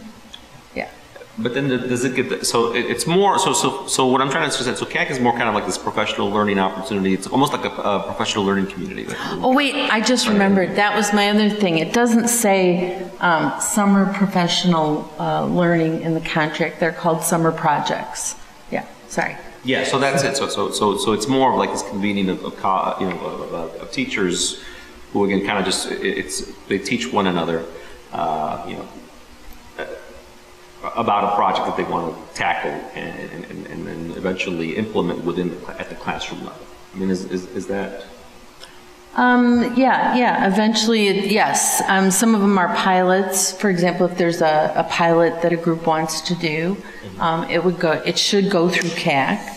Um, and that it should also go through the standing committee because there are standing, oh, that's another thing. This particular project, that social studies one, I, guess another concern is it didn't go through the K-5 social studies, um, standing committee. And you said that it didn't need to do that, but I think it's always, good. I, I, I just, it's when you're talking to teachers and they're like, I don't know what project they're talking about. So I think it's always good to go through the standing committees. So I think there are a couple, so when we talk about the ranges of projects, and let me see if I can lift a couple examples. grade four reading workshop poetry integration. So this is a group of teachers who teach the reading workshop curriculum and have identified that they they see an opportunity for basically unpacking the poetry unit and integrating it in across the different units throughout the year. Great idea, aligns with Common Core, paired texts, lots of opportunity there. So they're going to lift that up and go with that. And that's, it hits on innovation and it also hits on revising existing curriculum. Um, the standing committees we always have viewed as new curricular materials, new curricular options. In this case, like the social studies project, the maps exist, the standards exist, the focus of the units exists. What doesn't exist is the building out of the unit underneath that idea. There are even some resources that are there, but we have not built a cohesive unit to support instruction. So that, that was, you know, my response around the standing committee on that. Um, another quick example um, of one that was funded if I take a quick look, I'd pick up, and uh, let's see if I can go, the culturally relevant pedagogy and algebra. So this is a group of middle school teachers across schools who want to take a look at the algebra class and would find ways to define more culturally relevant practices within the existing curriculum, but it's about improving our existing curriculum and making it meet the needs of more of our kids. And so those are, you know, a couple of different ways. If it was a brand new curriculum, absolutely go through standing committees and we would pilot it. If it's a revision of existing, and one of the things I tried to do this year with that triangle was to get clearer about you know, which projects fit in which places, and to tr try to clear, clear some space for these innovation projects, because that was a bit of the push last year around some of the funding. Thank you. I have another question about, um, so i- i- is, are there any teachers from JEH included in some of these, you know, conversations, right? Like, Or, or, you know, from the early childhood programs? Because, I mean, I'd love to see, again, uh, uh, some alignment from, starting, not just from K to fi- five or K through eight, but this started from pre-K. The application was sent district-wide, including JEH. There were project proposals from JEH last year. There were not any proposals from JEH this year. Any other questions on this topic? Okay. Well, we can move right into the um, planning. All right. Switch. Well, the, what she had. Oh, Courses. Courses. The new course planning. New course plan. Sorry.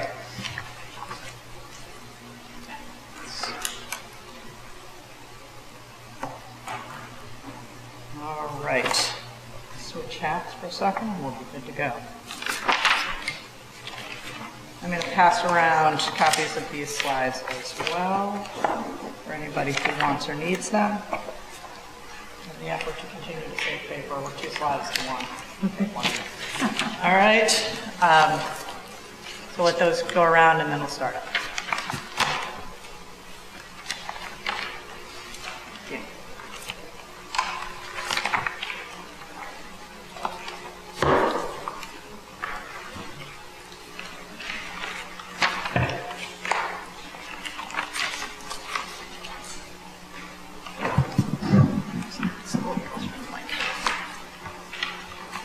All right. Um, prior to me diving into the details, I just want to frame our context again so we're aware. And I touched on this a little bit in our first presentation.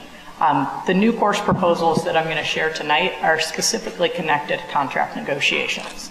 Um, one, teachers in K-5, in order to get the fifth period of planning weekly, we needed to add a, some form of programming in order to fill those instructional minutes for kids.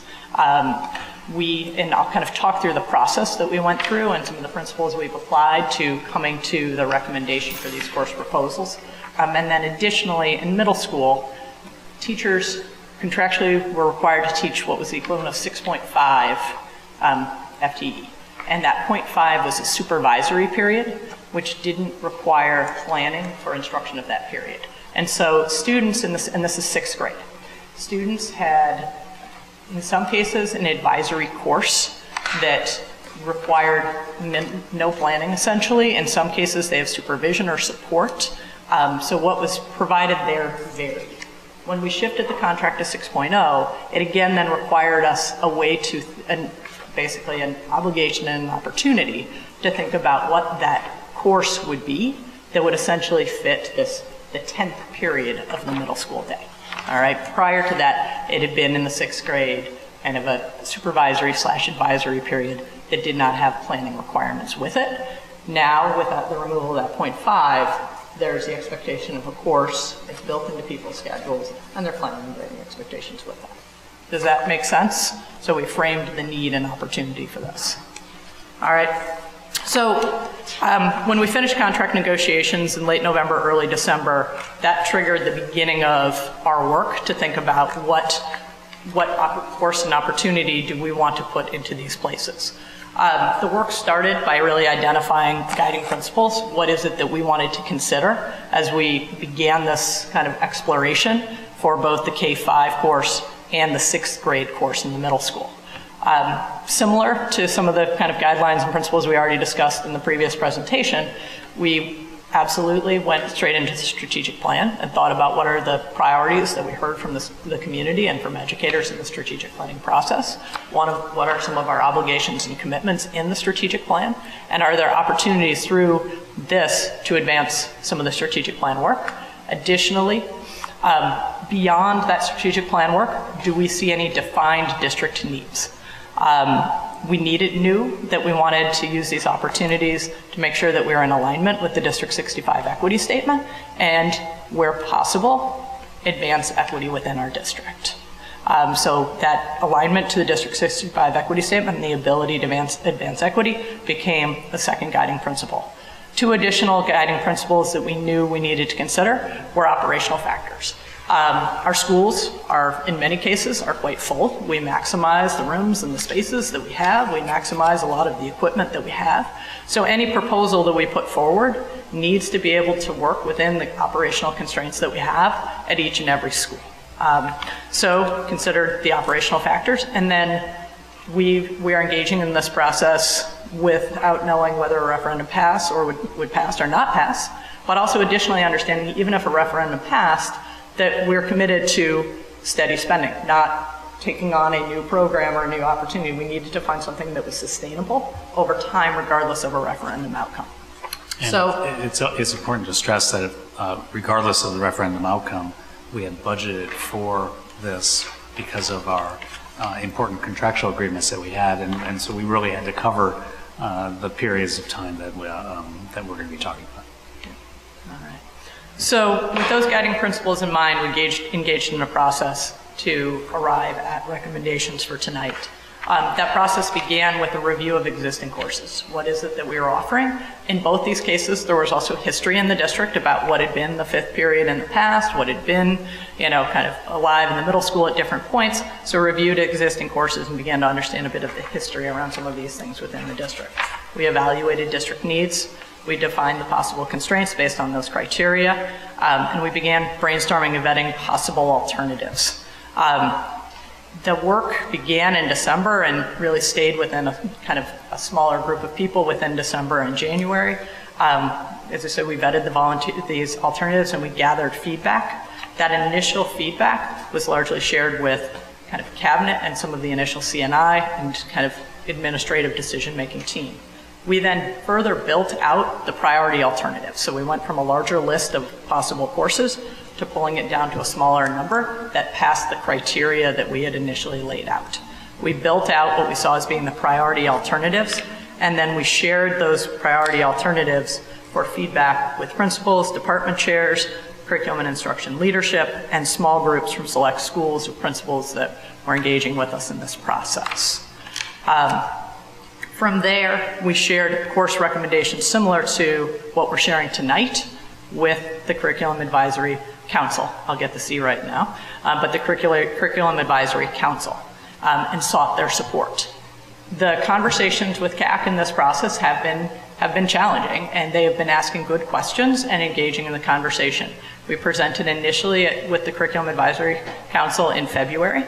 I then ran an information session with the support of champions of these courses um, in, let's see, so we presented actually, what is it, end of, let me do my, end of January, and then we ran the information, sorry, there we go. Let me get my th- thing straight. So we presented end of February, we ran information sessions after that meeting, and then we came back to CAC again at the end of this past month. Um, It was at that point that we reshared the opportunities and said, in light of these course offerings and in light of engaging teachers in the curriculum development over the summer, the commitment to come back to revi- you know, reviewing these courses two years out of the gate, would you support these courses? At that point, you'll see the percentages of the memos, percentages of support. We received 50% or greater support for each of the three courses, but it is not overwhelming support. We're not, you know, if you were to say is it 100%, we have 50% or more for all of the three courses. The percent not supporting is all below 30%. And part of the reasoning was that CAC members didn't always feel comfortable sounding in if I'm a K-5 teacher, sounding in on a middle school project and vice versa. Um, one point of clarification is, um, and possibly this is a process piece we could work, through, um, administrative members on CAC, principal, curriculum instruction folks, myself, don't tend to sound in on these votes. And so it's possibly a process piece that we need to go back to because it was my understanding that we did not necessarily have voting rights in those meetings. And so, point of clarification that I would have to figure out, but that would be representative of CAC. The teacher CAC membership is my understanding of those votes. Um, talking through the courses. For the fifth planning period courses, we're proposing two courses. One is a social emotional learning equity class, and the second one is an introduction to computational science. The way that this works is essentially over the six year period of time, students will have one of these courses once a week. And the thinking is that they'll essentially, over the six year window of time, have three years of introduction to compu- computational science and three years of social emotional learning equity. And we are working, I'm working with department chairs pending approval to move forward with this to determine the best sequence in which that would happen. Should it happen half year, half year? Should it happen where students experience the social emotional learning class over three consecutive grades and the computational science over three consecutive grades, or should it rotate? And we're working through the best design. The factors in that are student experience, the impact on staffing, as well as um, the ability to build schedules because people are moving across across buildings. Um, I'll talk through quickly kind of the goal of each course. Um, and then talk a little bit about Advisory 2.0 before I kind of open it up to questions. And there are other people at the table who are also can sound in and help us answer questions as we go tonight. Um, social emotional learning equity.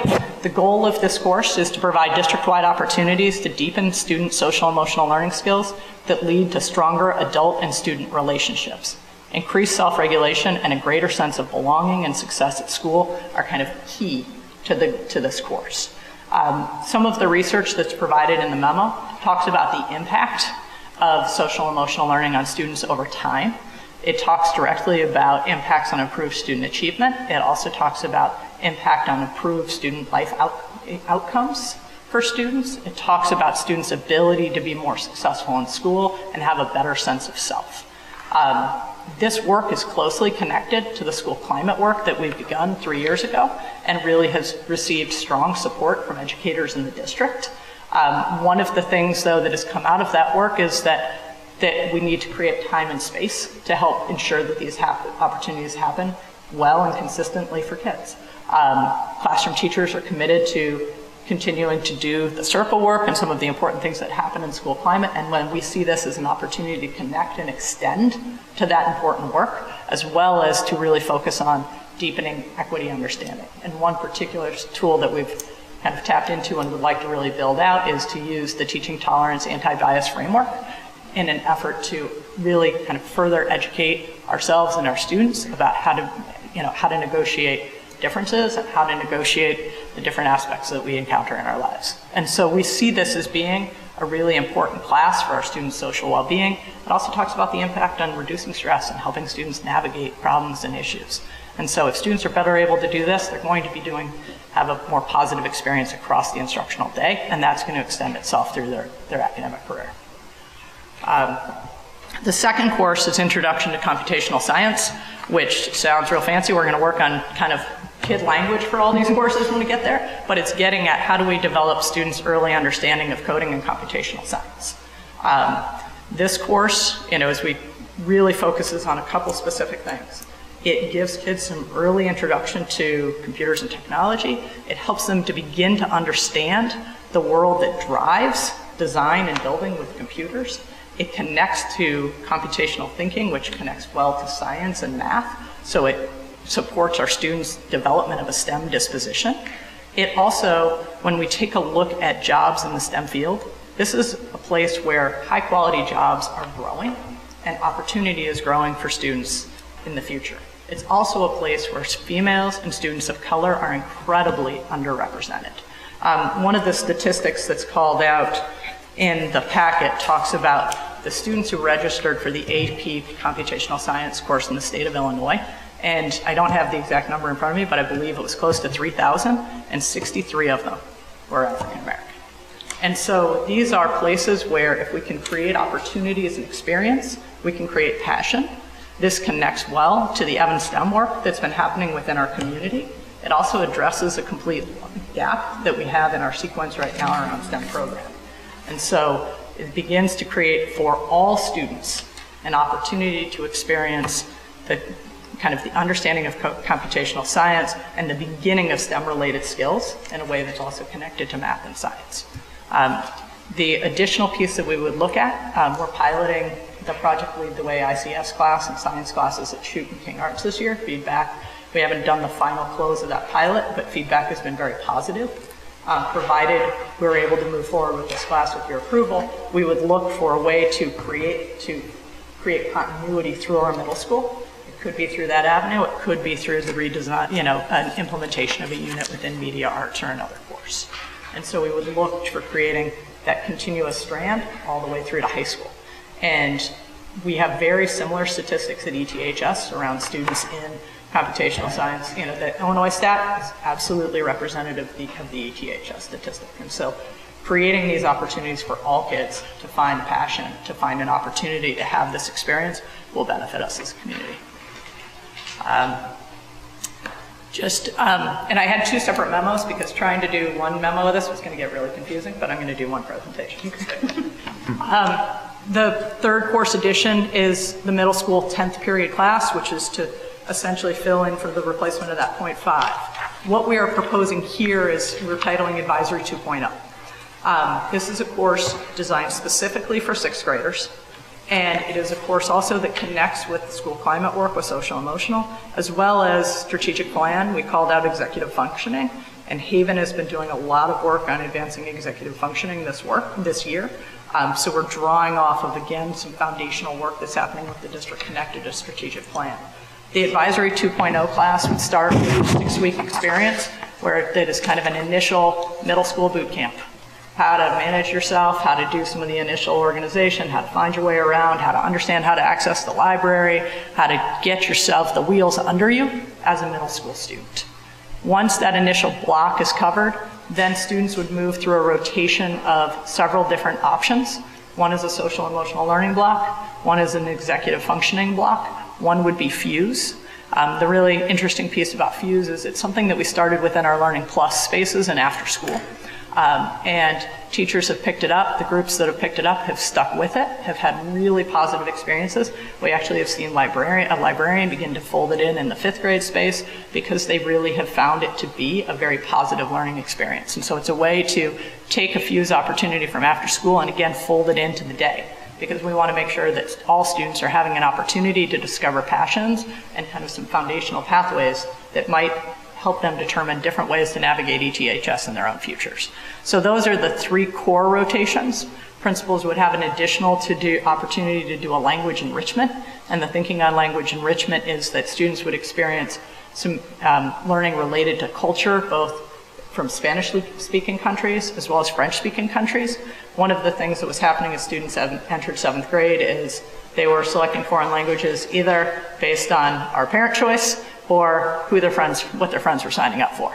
And so this is an opportunity to give them a little more information about kind of culture and initial language for them to be making more of an educated decision because where, what they pick in seventh grade, frankly, is going to determine the foreign language they're engaging in for several years through middle school and high school, as well as possibly college. So trying to give them a little bit of information in navigating that decision to make a decision they want to stick with and that they're happy with. Um, that, I think, is kind of a, sorry, I should have showed you that slide as I was talking. Um, there is an additional optional rotation around an enrichment rotation, but at this point, They, most likely, the middle schools will stick to the core as well as language exposure. And some of that is determined by the size of their school and the number of advisories they have rotating at one time. Because the way that we would manage teaching in this is every teacher assigned to this course would do the first block, and then a teacher would then teach executive functioning for the remainder of the year to different sections as they rotate, or teach Fuse for the remainder of the year as different sections rotated. And the idea on that is to allow a teacher to specialize and not have to shift with each rotation. The kids shift in the rotation, the teacher does not, after that original Welcome to Middle School six-week block. Um, proposed next steps, um, we want to complete the review of staffing options for the courses. Part of the CAC feedback has been to really think about who staffs cour these courses, and so we've really taken that challenge, and I'm working with department chairs and some other things to think about appropriate staffing and appropriate models. Engage teachers and leaders for summer curriculum work, plan and implement professional learning, define the course duration and intervals as we've talked about, and then partner with principals and department chairs to schedule. Um, and that last one is actually already kind of beginning in the process to be around the initial conversation, so that's one that's going to be an ongoing process. So at this point, I think I'd just like to open up for questions and comments. Yeah, it's a lot. It's a lot, yeah, and I know this has been a long time in coming, so thank you for all the work. My first question is, you said there's been pushback from CAC, and I'm just curious about what their, what the themes are that are coming out. So, you know, so I think some of the conversations, um, so there are a couple different things. Um, some of the initial challenges, well, so there are a few different things that have happened. One has been, are these the right topics? You know, would it be easier and more straightforward to do arts enrichment? Would, um, with the referendum conversations and the possible loss of instrumental music, there was the conversation of could this be instrumental? And so this process has been occurring while all these other things are also happening. So there, you know, some of the conversation has been around that. I think at a point we moved past that to, well, let's talk about these particular concepts. And in talking about those concepts, the support has come to the concepts, but then part of the question has been, should, you know, when you staff this, are there ways to make educators more whole? And when I reference that, it's educators in our arts travel. Um, and at times that travel makes things more challenging. So are there ways to staff this, potentially with arts educators or something along those lines, that would allow them to, more people to be full-time in their sites? And so some of those questions have, have been circulated, and those are some of the things that we're considering as we go. Um, as we, as we look to the logistics of launching these ideas. Um, additionally, one of the pieces that was raised in our conversations, our initial proposal was half year, half year. Um, there were some conversations about how will that play in regards to relationships um, for kids if a teacher rotates half year. So we're considering that. We're also considering whether you know a student might have one of the courses kindergarten through second grade and another one third through fifth grade, or kindergarten second fourth. You know, there are ways to potentially rotate these things, and we're taking a look at staffing models. We need to look at the impact. You know, what works for kids, what works for adults, and what works within the staffing models and logistics. And these types of conversations, frankly, could come up with any one of these, any, anything that we put on the table. You know, we need to think realistically about the, the staffing and the buildings and the resources that we have. Okay, so I, I think that um, some of it I have a really initially really positive reaction to. Some I, it, it, there are echoes of what was proposed for the original advisory, which just make me worried, even though clearly there's going to be more support for that. But these were very much the ambitions of the sixth grade advisory. Um, and if you, just to start with the middle school piece, if you've ever listened to middle school kids come home for the first week, they say, oh my God, I'm bored to tears. All they want to do is tell me where the lunchroom is and where the library is and where you, where you walk in the halls. And to think about spending six weeks on that boot camp sounds like it could be repetitive and hard for kids that kids are quick learners about things like where to go to the bathroom. It just, it, that kind of focus seems a little repetitive to me when we have this great opportunity to really enrich these kids' lives. When you talk about computational sciences, that's really exciting and that's really great for girls and for equity concerns. But this other one just seems a little watered down. And I think that I have the same concern both in K through 5 and in the middle school. And I think I'll put equity aside because there may need to be a more explicit curriculum for that. But when you talk about teaching social and emotional skills, and I may be completely naive to say this, but it seems to me as I've watched it happen effectively, it often is not when you're focusing directly on, okay, now we're going to talk about social emotional skills, but you're actually doing something and teaching those skills. So for me, it would be really powerful if you could marry social and emotional to something more content heavy. Because just focusing on social emotional feels like it's going to be very teacher dependent, curriculum light, and you're going to get a huge variation in what you see in those classrooms. And it would be exciting, and I think parents would be really excited if you could say, look into idea that we're going to study about languages but not languages.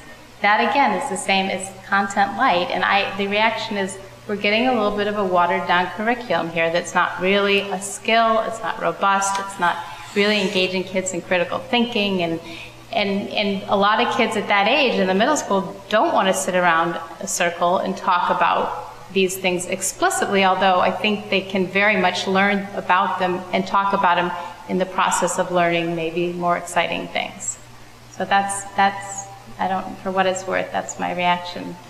Mm-hmm. On the second, Yeah, you know, I, I can talk about the K-5 piece for one second here.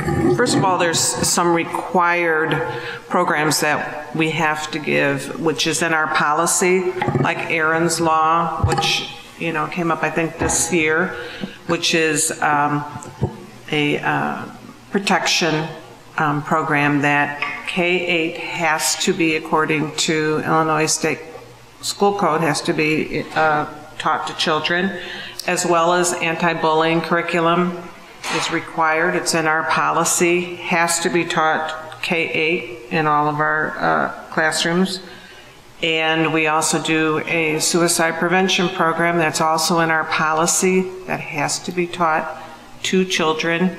Um, and we've agreed to that. So what happens is currently social workers take time, different curricular time to teach those things.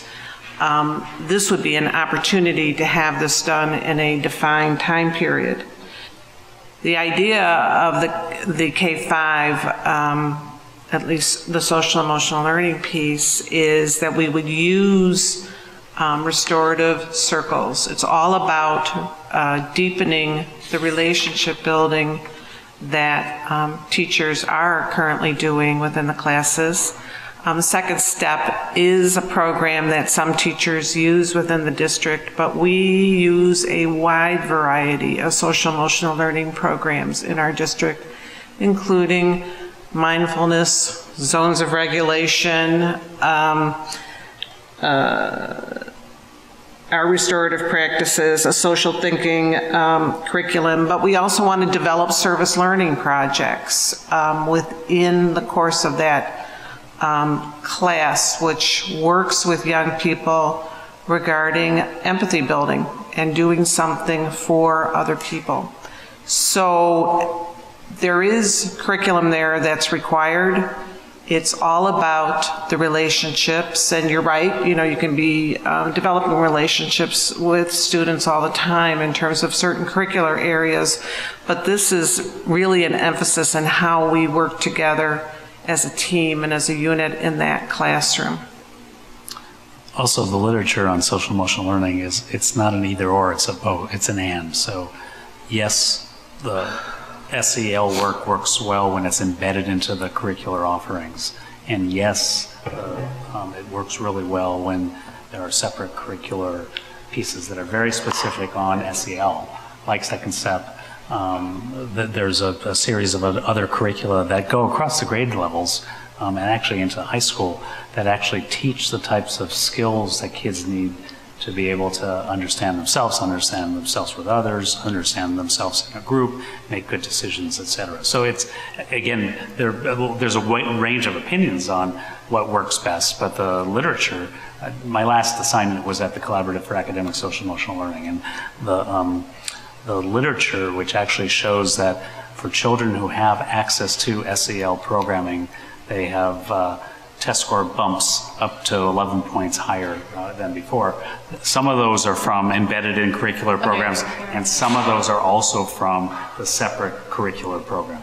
And and do you know the extent to which would you have three years of that, or was, I mean, what, what dosage seems reasonable? Because the dosage here, I think, is a question, you know, if you have half computational science in half three years in three years, maybe, maybe you're, I mean, maybe it's a, a question of, is that, is it something kids need every year, but they don't need maybe half the year of it? Or you could intersperse it with something a little more focused. Like, I love the service learning. I think that's an excellent idea. And to focus on something else while you're learning these skills, that, that's really exciting to me.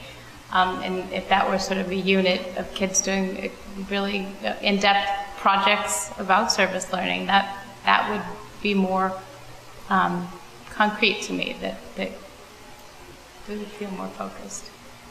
You know, the relationship building is a process and it's developmental and there's different stages that we go through every year in terms of the development.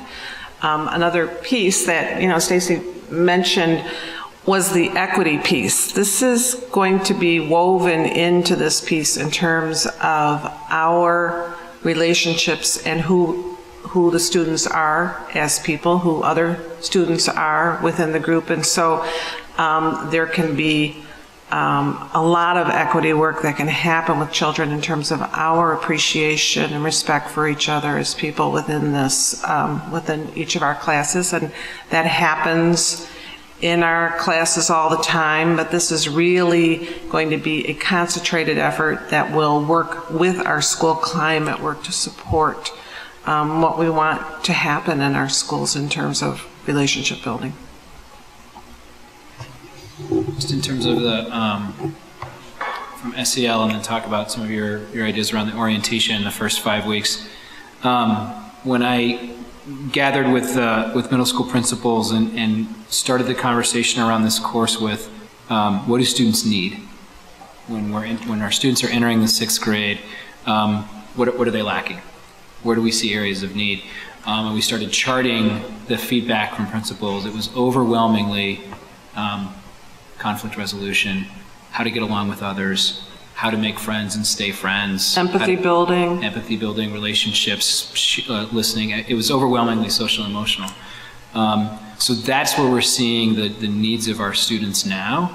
And it'd be great to get to a place where um, we can realign and, and identify other needs that we see as gaps. But it really is the social emotional learning needs of the students that we see in our schools, um, the reasons why students aren't fully able to engage in class, um, the reasons why students are removed from class, uh, the reasons why students aren't always comfortable coming to school. Um, those are the opportunities that we have to, to address. And um, I think we'll learn a lot. It, it, what is what is the correct or, or the best dosage is, and be great to come back and say, you know what, it's too much social emotional learning. Our kids are so socially healthy that we can pull back and do other no, things. I don't I'm not questioning the need. I know there's the need. I'm just wondering whether it's the explicit focusing on it or is it marrying it to something that might, like, to engage kids without, you know, you teach while they don't know. You know, the social worker, when my kid would see the social worker, she wouldn't come and say, let's talk about your feelings. They would play games, they would do things that actually focused her on something else. And then a lot of, she got a lot of help from that. And I'm just wondering, kids, if they're, you know, they might, if there's some, the content is a little more engaging, you might be able to have someone who's really effective at team building and processing and all these things well there might be learning something hard, a few skills along the way that they might be excited about. And I think a piece of this, and Joyce can speak to it best, but these, you know, so we're teaching social emotional skills, but we're not going to teach it in the delivery of, you know, this is what conflict Yeah. resolution is. It's putting kids in scenarios. It's putting kids kids in Problem triads. solving, It's getting kids to work through conflicts. It's doing, you know, so it's creating situations, problems, challenges, inquiries that they need to, that the lesson is embedded in, and that's going to create the real world environment for them. And so it is not in isolation itself. One of the things we talked about with some of the younger kids is, you know, some of this learning can be very much set up in a play-based setting, you know, because that's where a lot of those situations occur. So how do we set up the types of lessons that are going to allow this learning to occur? And as Joyce mentioned, it is, developmental. The way that looks changes over the years, and the needs that kids have and they need to grapple with change over the years. Yeah, you know, I just wanted to comment, thank you for that incredible work that you've been, you've all been doing um, in regards to trying to think about this thoughtfully. Um, and, You know, one of the things that you mentioned about being, having this play-based approach to, to uh, social emotional learning, right?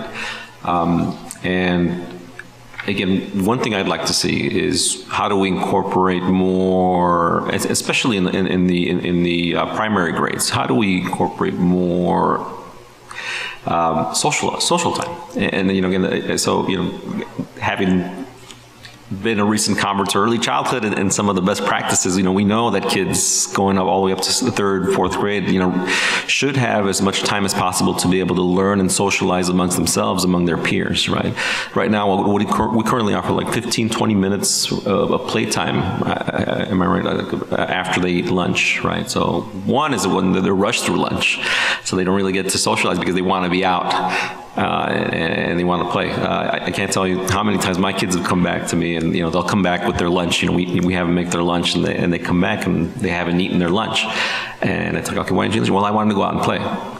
So, you know, for me, that, that, and again, the research is very clear in regards to making sure that kids have enough time to play with one another and socialize so they can learn these skills amongst their peers. Um, and again, I, I agree, we need to have a bit of a formalized structure to, to, to kind of, ha, you know, present these scenarios in, in, in, a classroom setting. Uh, but also, you know, when, when, what can we do to ensure that we kind of create that time so kids can exercise these, uh, these social emotional concepts that they've just learned amongst themselves out in playground, right? Just on the uh, orientation issue, I think you might be right. Um, and the, the five weeks hasn't been finalized yet, and the middle school principals are gathering tomorrow morning to take a look. One of the issues specifically at calendar, Stacy mentioned how long are the rotations? Uh, how long would the orientation be? I think the list of things that we would love to cover with all sixth grade students the minute they walk into a building is, is longer um, than it looks like it, you know, we could cover in five weeks. But that's, that's really meant to be a period of, of team building, setting expectations with one another, um, learning how to use the library, um, doing some of the re, you know initial required training that, that right now takes time out of core content classrooms in order to deliver that training. Um, also, um, doing some of the very intensive and focused uh, executive functioning. There's a um, the teachers at Haven this year and working through the curriculum for executive functioning have identified kind of five core lessons that take more than five days. So delivering all of the sixth grade students those five core lessons around time management, material management, um, would be really helpful to do all together in a very focused way um, as quickly as possible. So that's, those are some of the pieces. It may need to be three and a half weeks, it may need to be four and a half weeks, it may need to be seven and a half weeks. I think we'll, we'll make our best plan uh, for what we know at this time based on the pilot that we've run of Fuse, based on the pilot that we have run of executive functioning, the needs that we hear from Joyce and, and the team around what needs to happen in that. And um, then we'll review it and change it. This is also a really good place to work in digital literacy and some of the Yeah, important right, sure. learning that we need to incorporate, particularly, you know, across the district, but also very specifically with our middle schoolers. So, um, I want to thank you also for um, the level of detail in um, sharing the process as well as the content. Um, I'm personally not a terribly hard sell on social and emotional learning and equity content. Um, I can see how, I mean, I, I don't have a middle schooler, middle school student, so I can't speak to um, having a child come home and communicate with me. But um, if done well, if, if, if curriculum is implemented well, I can see there being um, a level of richness in having an extended, extended period of time to and the space to talk about social emotional learning, not just for the content, but for the relationship building. Um, and I think building up uh, trust takes some time, um, peer to peer as well as peer to adult. Um, so I think that this could also be an issue of making sure that there's the right curriculum and the right training um, in order to, and, also feedback uh, um, opportunities. So I'm curious too, like how this connects to larger expectations in terms of building culture. They, um, some of this culture and climate work is happening at, at the at the building level, and what's happening in the classrooms. It sounds like is meant to be directly connected to and informing that. So what's the feedback loop between um, building level culture and climate expectations, and then how that actually is looking in the classrooms, which would be like a microcosm of kind of the health of the, the social emotional climate in the building. Um, so I wonder about what that connection is, as well as, um, you know, how, what is the feedback for getting, we talked a little bit earlier about having parent and student feedback and, and making sure we touch on that stakeholder group and giving us information and, and feedback on kind of the decisions that we're making and the impact and the effectiveness. And so, you know, students will let, definitely let us know if they're bored or if they feel like um, a curriculum is not having the intended impact. So, you know, are there ways to build in um, feedback opportunities to, um, you know, let students know this this is a pilot and it is meant to be helpful for all stakeholders, and we want to hear from you in terms of how effective um, this is.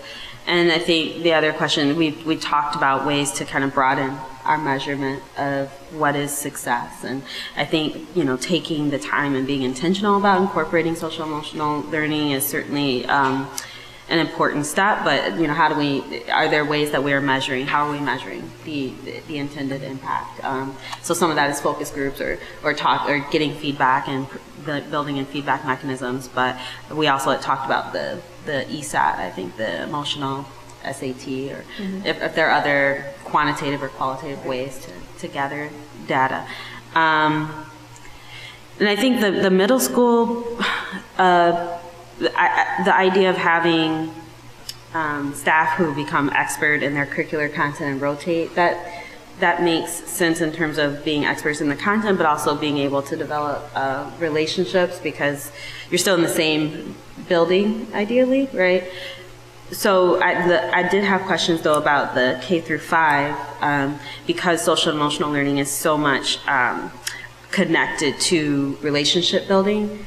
Having someone there for and, and also the culture of the classroom is so much um, more impactful in K through five than it is at the middle school level. Like building culture has a greater impact at middle school level, and it certainly has a huge impact at the K through five level. But your classroom culture has a huge impact on your your daily experience as well. So I wonder, you know, what is the built-in capacity for um, whoever's leading that planning period, social emotional learning, to be directly connected with what's happening in that classroom. When are those professionals having opportunity to talk, to plan together, to make sure that they're informed? How are these folks also able to connect with the culture and climate team in order to make sure that this is really intentional? Um, because otherwise, it, it could be just reading off the curriculum and then it may not feel meaningful or responsive or connected. Mm-hmm. Um, so I think uh, I- wanted to hear a little bit more. You said that there was this um, idea of doing the half of the year and switching, and that you were still looking at that, but just to hear more about how there, you know, ways that we're really looking at making sure that this is connected and intentional and um, having the, the intended impact. Right. Let me, let me just, so the school climate teams, we have them in 12, 12 sites now, and we will have them in all our sites in the fall. The first year of the school climate teams is all about relationships. So it's the relationship student to student, student to staff, staff to staff, and staff to family. And we survey all uh, our, uh, of our um, staff at the beginning of the school year regarding a variety of different um, interventions that they, uh, uh, or or a variety of different relationships that they're thinking about within their building, and then we survey them at the end of the relationship piece. Similarly, with the next uh, year, which is the safety piece. So this information then is provided to the school climate team, which uses that information to make the action plan for the building. And that will help to address what goes on in classes. So yes, there's, there's an overarching group that will be looking at this, but then there will be a feedback to the school climate teams as well. So there, also with the social emotional learning, there are so many different um, tools that you can use to measure what your progress is and what your impact is um, that we will you know, put into our program so that we can see whether it's effective or where we're having um, an impact or where we aren't. Um, I see that these people will be planning and communicating with the classroom teachers because definitely we want um, them to be um, on the same plane and being supportive to each other in terms of how they can work together. So, you know, I think those are all pieces that will need to be worked out and we'll have to take a look at. But, um, and it will require a lot of communication on everyone's part, but I think that'll be, you know, exciting and we'll have to see where the needs are that we'll have to address. Thank you. For the, um, the, the climate teams and the re- way relationships are measured, I, I know that, I think we talked about this at one point, but I forgot, so I'm asking again. Um, how student and, um, family stakeholders, how they're, because I know that teachers are surveyed about family relationships, but how students and families are, do they have any feedback to, into? Into what's priorities? happening? Yeah. Well, we're seeing that now more with the equity work. So we're doing the equity walks, and we had some uh, focus groups that we did with community, or with families in each of the schools. So that's the piece that will begin to help us build what our next interventions are with families as well. So, you know, that's, we're in a process, we're at the beginning of that piece, but all of that work, the equity work, this class, they all kind of go through the school climate team, and this builds on each other in terms of what we want to happen in terms of school climate. And so I know we're just discussing this today. So will this, whatever revisions based on this discussion, go back to the CAC that was kind of 50-50 on it? So th- our, currently, our plan would be to ask you for support of this on the, the April 20, is it 24th or 28th, our next meeting? 24th. Next meeting. And there are a couple reasons on that. One, you know, in our last conversation with CAC, we said, you know, do you support the idea of engaging teachers to further refine this? Do you support the idea of us doing the check-in in two years to fully evaluate effectiveness and revise as needed? Um, we are at a point timing-wise where if, in order to execute this course in August, we really do need to, to be able to move forward. Um, and so the kind of resolution there, the ask was, let's agree, can we agree on the concept and can we work together to make this work well? The idea would be to put out the opportunity to work on these projects district-wide in the same way we do with the other summer professional learning projects and get people in to do that work. Um, so um, the I, my concern is if we go through another round of iteration and then come back, we're not going to be in a position to hire and to launch these classes well. Suni? Yeah, um, I guess I share some similar concerns, especially looking at the middle school to what Tracy talked about, because individually, each of these things looks really interesting, but there's an element that feels like, is it trying to do a little too much in rotating around? And I guess I'm not fully understanding how the stat, so there would be, what is it, like six different teachers that the sixth grader would be in? Probably three at a time. There'd be three, it, it looks like a typical schedule for a middle school, have three or four sixth grade divisions, prepping, if you will, or, or going to advisory 2.0 during the same period. So you'd have three teachers assigned to those three divisions of classes. And so during the orientation, they'd each have their own class, A, B, and C, let's call it. They'll develop the relationship to that group. Um, and then we'll head into rotation number one. And in rotation one, group A will go to Fuse, and group B will go to social emotional learning, and group C will go to executive functioning. Um, for the second rotation, group A will go, and B will go, and C will go, but so they'll go and see. So the three teachers then, who each had their own, own division, will specialize, if you will, or go through the intensive training for one of those curricular areas. Um, either become the expert for in that trio on either executive functioning or fuse or the social emotional learning. Um, So that's, that would be the design, and it looks like in most of the schools that, um, well, in all of the schools, that that three or four class rotation is going to work, logistically is going to work well to serve all of. I guess I'm just wondering, is that for, from the, so the, from the student experience, they're going to be rotating throughout the year with an additional four teachers, right? Three. If they're in, if they're in a rotation of three, it'll be three teachers. If they're in a rotation of four, it'll be with four teachers. Depends on the number Kind of of like divisions another prepping at art the same time. Right. Right. So like Chute has nine sixth grade divisions. It's going to work really well for them to go three, three, and three. Right. If Haven ends up with 11, then they're going to have three, four, and four. I guess I just, I feel like it is, would we be,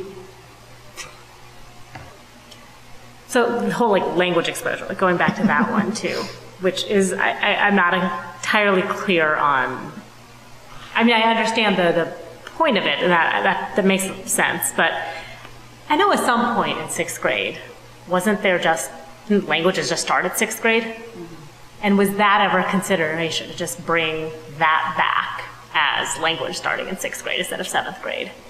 Yes. And what was the, So in, in talking with uh, with 202 um, and in talking with the principals, um, the way that our current language offerings work is actually works quite nicely with the students' transition into the high school. So in seventh grade, you get year one, semester one, and in eighth grade, you get year one, semester two. You take the placement test, and then the vast majority of our students go into year two language, either French or Spanish, when they enter the high school. Sometimes honors, sometimes regular, varies based on their depart, on their placement test. So to add in kind of another half year um, didn't fit real well with our attempts to connect our students with the high school curriculum. It seemed to be, well, a little bit more maybe than a place than Spanish two, but not quite enough for Spanish three or language through. It's, it's, it was kind of would put our students in an awkward in between spot, um, which was one of the reasons why. Um, the second reason why was, what do our students need? Um, what are the most pressing needs for our students? And we looked at, as I said, social emotional learning and opportunities to have hands-on experiences with design. Um, and so that's those are some of the, and in our strat plan calls for uh, the executive functioning. So really going back to that group of educators that gathered three years ago to decide and really advise you all on what is it that our students need. Executive functioning was uh, one of those missing aspects of our curriculum we want to try and work on. right, I guess I'm just struggling with, it just seems like a, a little bit of a lot of things rather than focusing on one thing and doing it well. I'm, I'm a little bit concerned that it's just like tip of the iceberg on a bunch of things, and then maybe it's not going to ultimately be, would it be more beneficial to choose one of these and really dive into it for the year for these students, as opposed to having a little bit of it throughout the year? Maybe. We don't think so, based on what we've designed. Um, we're going to learn that, and I think one of the one of the pieces that I want to talk with colleagues about is what what is our be more specific about our kind of um, feedback and assessment plan. Where who are we going to ask, and how are we going to ask, and when are we going to ask to answer those questions? Um, what we're looking at, though, is, is that for the amount of time that we're spending on executive functioning now, it's not a year-long course. Um, Fuse um, for the resources that we have right now, um, we could purchase more resources, but it does not need to be a year-long. John, could you explain or what Fuse is? Because I don't have, if some, if we didn't really learn it, or we might have learned it another time and I don't remember. I know, I know it's hands-on, but I, okay, so I'm not the only one.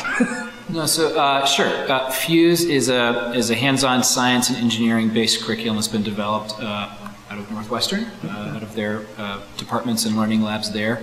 Um, has kind of burgeoned into its own um, curriculum uh, that's been sold and provided to districts across the world. Uh, as a matter of fact, um, the Northwestern team came to us and said, you know, we're doing this. You know, we just got back from a conference in Israel, and we're not doing it in our own backyard. Like, let's let's work together. How can we do this? So they've been incredibly generous in their um, professional development and training, which they provide to us for free, uh, giving us um, support with the curriculum and the materials. but they are uh, individual units or challenges that students select from a variety of, of challenges. I think there's 20 in the curriculum that we've purchased and used so far. They can work individually or in small groups. Um, they select a challenge. It might be a coding challenge. It might be a design challenge. I saw a Lego car, um, you know, jumping challenge. The students had to design the track and time the car and design it just right so to get the, the outcome that they needed for the on the on the um, Matchbox track. Um, so each has its own design challenge and, and objective that students work towards. It's fairly flexible.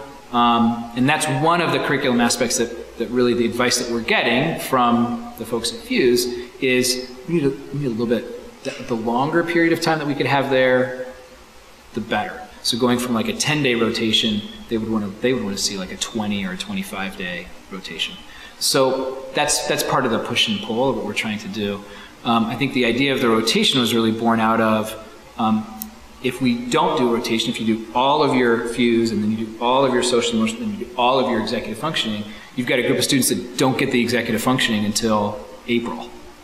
Um, and so they've missed out on this large chunk of learning that we want all of the teachers to build off of and to incorporate into their classes. So that's why these kind of shorter bursts of learning for our students to do 15 I'm actually advocating for 19 days because that works out really well with Thanksgiving and, and winter break. Um, these kind of shorter bursts of learning where students can rotate through, then all of the sixth graders have had that by the time we hit Thanksgiving and that can be incorporated into the classroom. And then That's they go part of through the it design. again, like. they And then get they'll all go, these- right. So I didn't They'll go really through again catch to that do before. Another rotation and take a look at it. I didn't bring a calendar and we haven't finalized that yet. Um, but did I answer your question about Fuse and what that looks like? Yeah, no, it didn't. And also, I mean, it kind of makes, makes me think, so if I think in macro, macro level about the types of thinking that we want to develop and, you know, design thinking and um, problem solving and executive function, um, a lot of that in the work world is done in sprints now, right? There, it, it's sprint terminology is like you do these multi-week sprints of going through a design process and then it concludes and then you do a different sprint so that you're constantly you're, you're shifting, you know, and it keeps the mind awake and it keeps you engaged. Um, this is adults, and I think kids have even shorter. So I, I like the idea of, of sprints. I, I kind of share Suni's concern. The one that seems the outlier to me, quite honestly, is the language exposure. It just, it just seems like we, I just don't think it seems necessary relative to the decision having again just personal experience and having kids go through middle school and you know what it takes to decide on a language i understand under, learning about culture but it just seems like it's kind of put in there when these others i i see a common social emotional learning executive function clearly are you know similar and you guys will learn as you go through this how much time you need of each and the design components the stem components are problem solving and putting that into action, but you have to also build on those skills. Um, so, but I, I feel like maybe we're spreading the peanut butter a little bit too thin across the bread with adding that last one. Um, so that that would just be my comment. But I, I guess just to take a step back and acknowledge that this is the first time that, at least since I've been on the board, that we've gotten to talk about something exciting and new and re- recognize that it won't be perfect out of the gate, but it's exciting to talk about these new parts of the brain that we might be pushing for children and new ways to engage them. And um, so I think we have to critique it along the way. And to John's point, like my big thing from a board standpoint would be what are the we're going to look at this over two years, and if I were on CAC too, you know, what what are the key things we're going to evaluate in terms of success as the student impact, implementation components of it? Um, what are the other things? How do we progress in social emotional learning? Um, that even on an interim basis, that you can start to see, you know, what, what you might want to shift. I think that's for me. That would be the over the summer, however that the work entails to make sure we have focus on that, so we know how this pro, how these are going to be evaluated and um, and that how how that then can get rejiggered and you know things will evolve over time. I think something wonderful in the evaluation process. I think this is talking about different ways kids learn, and it's going to be very experiential. I think capturing their reactions to this is just critical. If we really are honest about saying, we're going to really talk to them, survey them about which ones were boring, which ones really they were engaged in, and which ones We were not.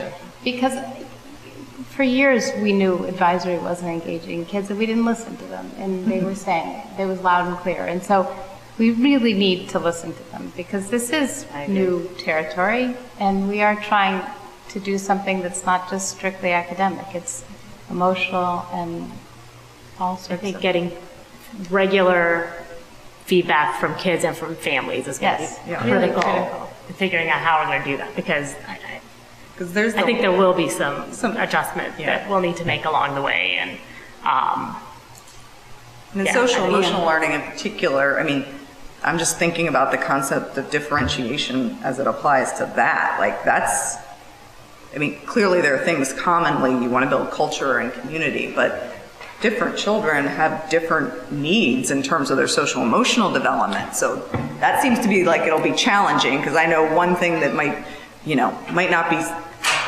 important for kid A is hugely important for kid B, and how do we calibrate that so we're actually every all children are, are pushing their you know pushing their boundaries in a new And way. And yet, as Joyce suggests, the, a lot of the set curricula and the curricula for teaching tolerance are based on sort of problem solving. So it's not, let's okay. sit carefully, let's all hold hands and we'll get along. It's about what, what's the problem that we're going to be facing so that we can actually resolve some of our differences. I- Just, this is a total sidebar on sprints. Um, it's inter- Peter's not here tonight, but Peter's team upstairs, when they do data analysis, sometimes goes into, go into sprint modes. And they do like three to five days of, we're going to just look at these data and print something out, and then they'll challenge all of us. And so we've been using that concept um, here at the district headquarters, and I think it's an interesting and testable hypothesis on learning and learning at the multiple ages uh, to see what we can we can harvest. I have a couple questions. Cool, thanks. Um, One's just a comment, which is something that I wasn't hearing as you were talking through this, really, and maybe that's because it's so deeply embedded in, in what you know about what you're going to do that you don't think to articulate it. But the culturally relevant component of each of Mhm. these, I think, is huge. I mean, this, you know, executive functioning skills, that's culturally relevant. Um, Because if we're going to do culturally relevant algebra teaching, we certainly should do culturally relevant social emotional learning. So I, and I'm pretty sure you've got that in mind, but I think we need to say it. Um, And the other is, uh, is, okay, so what, just describe to me, what, what's the teaching background that you want for somebody who's going to come in and teach executive functioning skills? What kind of teacher is that? Is that your typical sixth grade social study teacher, or is it, is it just a teacher who wants to do it, who thinks they know something about it, or, Yes, hopefully it is a teacher that wants to do it. Um, but I you're not think going to look for outside teachers? You're drawing from the existing staff? Well, I think that's going to vary by school. Um, I, I think there's, um, and that's going to vary by the staffing plan that the principals are working on creating. Um, it's one of the aspects that we need to um, get going on, finalize the, the plan, and that's why we're uh, want to come back to you on the 24th so we can do that. Um, principals have received a, a projected, anticipated allocation of the FTEs that we think it'll that they are have lost from the 0.5 that they can use, um, and they can kind of um, swap those out, if you will, to pay teachers to take on a seventh period. In our contract, there's an amount that teachers get paid to teach a seventh period. Um, so I, there will be a mixture of teachers accepting responsibility for a seventh period and um, teachers having that worked into their six periods. I think it's an ideal responsibility for, yes, a teacher who's interested, um, a special education teacher, um, for example, I think would be an excellent aspect of, of their uh, work, um, and a teacher who's had some kind of previous experience. But we do have a training plan in place for all of the staff that are going to be teaching this course. And hasn't Haven worked through uh, the we've a emergent lot. curriculum on this? Right. From their experience. And then, getting back to uh, the K through five, and I was, every time I would read about the computational science stuff, and I would have in my mind this first grader, I would read something like, concepts of computational thinking, and um, algorithmic processes. We're not going to use that term. Yeah, well, so is there a curriculum out there that we're drawing from? Yes. So there are actually a lot of very strong coding resources that have been developed over really the last For decade. really little kids? For really little kids. It's really exciting. Um, Yep, absolutely. And in looking at this, we did, we went to a number of different places. San Francisco Unified has really strong sequence. There's are now national standards around computational science. San Francisco has done a great job outlining their sequence through kindergarten through eighth grade. Um, we've had a couple people go and attend the code.org trainings, including myself. That work can, can begins with kindergartners. There are units that are developed, there are lessons that are developed, there are challenges and experiences, and it's a really a nice blend of what they refer to as plugged and unplugged activities. Some of these things literally are almost game-based. You know, they could be off technology, thinking about how you create loops, how you create patterns, what the logic is behind these things. And then some of it is, is online. And literally, you know, some of the things our educators talk about is, you know, that kids are very used to um, iPads, but not so much keyboards at this point and learning how to navigate, you know, how to do some of the initial coding using the technology that's within our buildings. Um, so absolutely, a lot of the curricular resources are accessible for free. Um, we're in the process of looking at a number of them, and I think we draw off of different resources depending on the grades. Because, and this curriculum will, will need to be revised over time. Because by the time our kindergarten through second graders get up to fourth and fifth grade, they will have had more experiences than our current intermediate grade students. And so we'll start with the curriculum in one place, and then we see needing to revise it over the next couple of years to make sure that it appropriately builds. But there are some really nice curriculums, and it creates opportunities for students to pursue individual challenges while also learning in step with kids.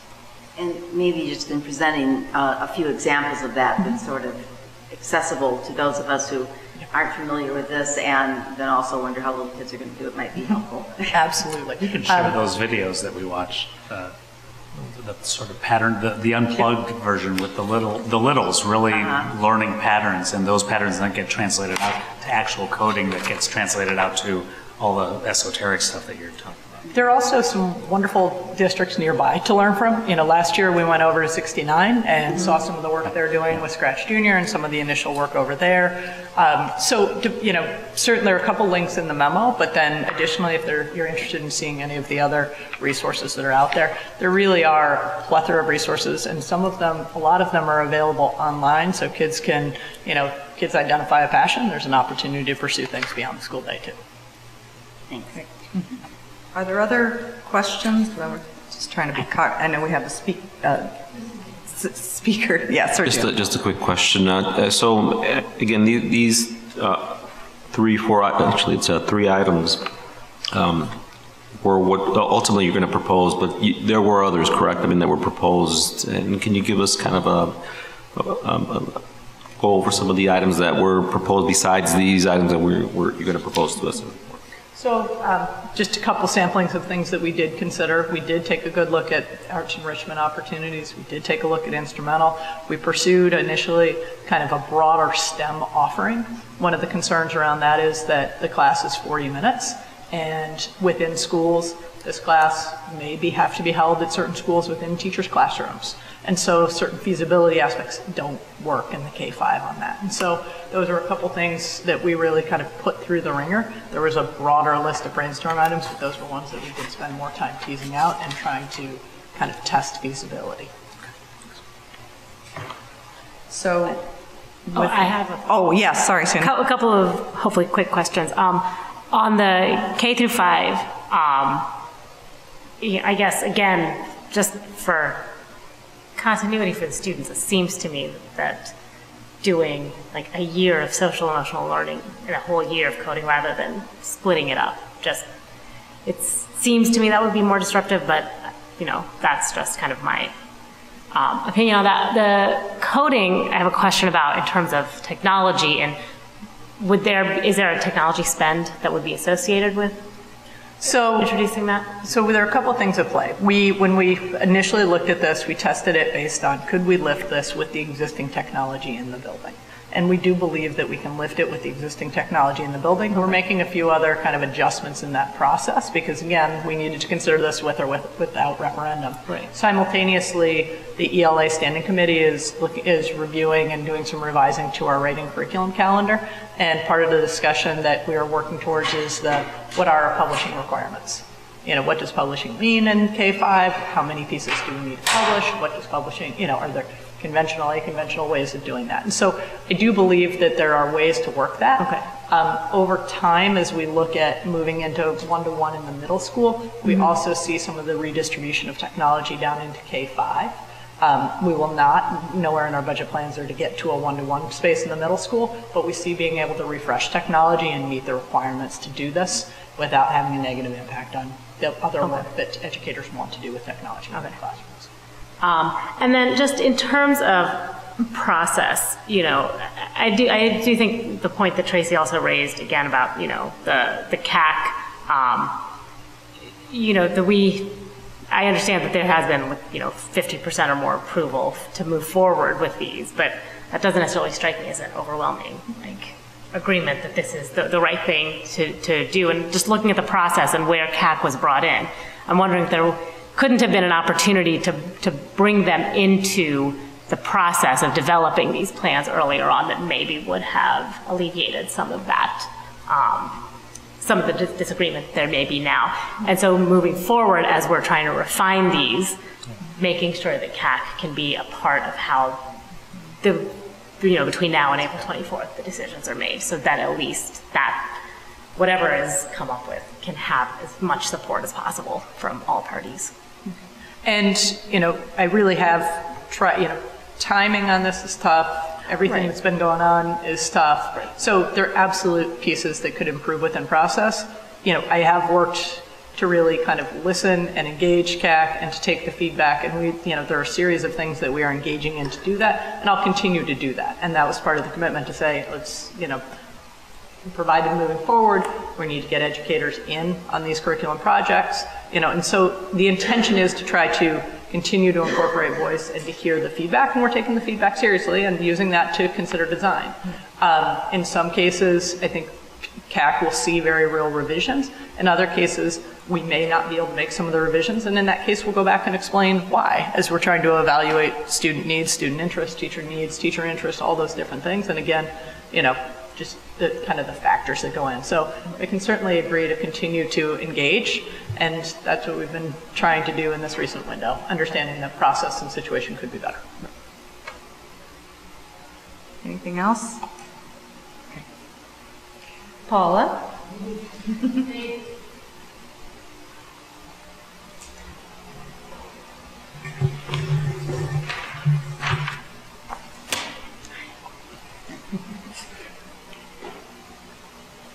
Um, I just, I have some random thoughts about this discussion. Um, first of all, I just want to point out that from what I recall, CAC's concern with the K-5 was doing both. So they might have said, oh, you know, the SEL sounds like a good idea. They might have said the, the coding sounds like a good idea. It was the doing two things in the year that was the big pushback from CAC. So when we look at the survey results, you have to sort of keep that in mind. Um, I think that there was concern that, you know, you, you, if you hire a social worker to do the SEL learning, and then that person goes away in the middle of the year, and the child has now bonded with them and, you know, is looking around the building, and they're no longer there, they're off now in another building. So I think this, this split year idea was of great concern to CAC and to teachers district-wide, K-5. Um, I, I, uh, the process again, you know, I mean, this this sort of thing always keeps happening, which is, oh, we kind of we came up with this idea and here it is, and now what do you think of it? So, um, and Stacy's been great with like after the initial CAC meeting where everyone went, what? Um, but, you know, meeting with us again and stuff like that. But again, the planning comes before, it should be happening before that. So that initial meeting was at the end of a CAC meeting, there was like a 15-minute presentation. And that was the first time that the teachers heard about it. Um, the middle school, they have the same concern with this rotation, this, um, the original presentation was it would be five days of this, then five days of that, then five days of this other thing, and, um, and then just, you know, like you're saying, sprints. But I think sixth grade, I, I've taught sixth grade, and, and, you know, being a sixth grader is a, it's a tough thing. You've got now all these new people in your life, uh, you're used to having one teacher, you know, you went to fine arts, but you, you had this primary teacher, and now you've got all these people, this social studies teacher, this math teacher, this language arts teacher, and now we're adding, you know, three and four more teachers for these kids. And, and I think the middle school teachers thought that was, that was a lot, you know, to be adding to the plate of a sixth grader. Um, uh, the K-5 teachers are concerned that, you know, the classroom teachers aren't, aren't really the primary provider for social and emotional learning. You know, who's going to be doing what thing? And this idea that they're going to be planning together. I mean, teachers struggle right now planning together, so there's no idea whether or not this person would even have any common planning time with any of these K-5 teachers. Um, uh, there was a concern with the coding that it just it goes away after fifth grade. So, I mean, I don't know, is it something kids just like remember and they just start doing on their own? Or why, you know, why not carry it into the middle school? Um, Would that not be in some way carried through, because I thought. There's several opportunities for ways to extend it, and it- we, we do want to look for opportunities to extend that. We've got a pilot running um, with Project Lead the Way, Intro to Computer Science, Computational Science, and then we also could consider in- uh, engaging it in one of the electives or specials that already does occur. So that is one of the discussions within review process. So absolutely, Paula, it makes full sense that it- there's continuity in the opportunity through high school. The um, world language teachers were, you know, we heard that the high school was consulted, and this has sort of been a big thing um, in the world languages department. Um, the fact that the that our own teachers were never sort of discussed or consulted, the department chairs didn't even know about um, that world languages wasn't an option for um, this sixth grade um, new class. Um, I do know the middle school teachers are looking for a class that gets graded. One of the things, the problems with advisory is it's not a graded class now. And so, you know, at the middle school, kids take certain things, you know, more seriously than others. And if it's just like the old advisory with no grade and just different things the kids are doing, the teachers were really concerned about that.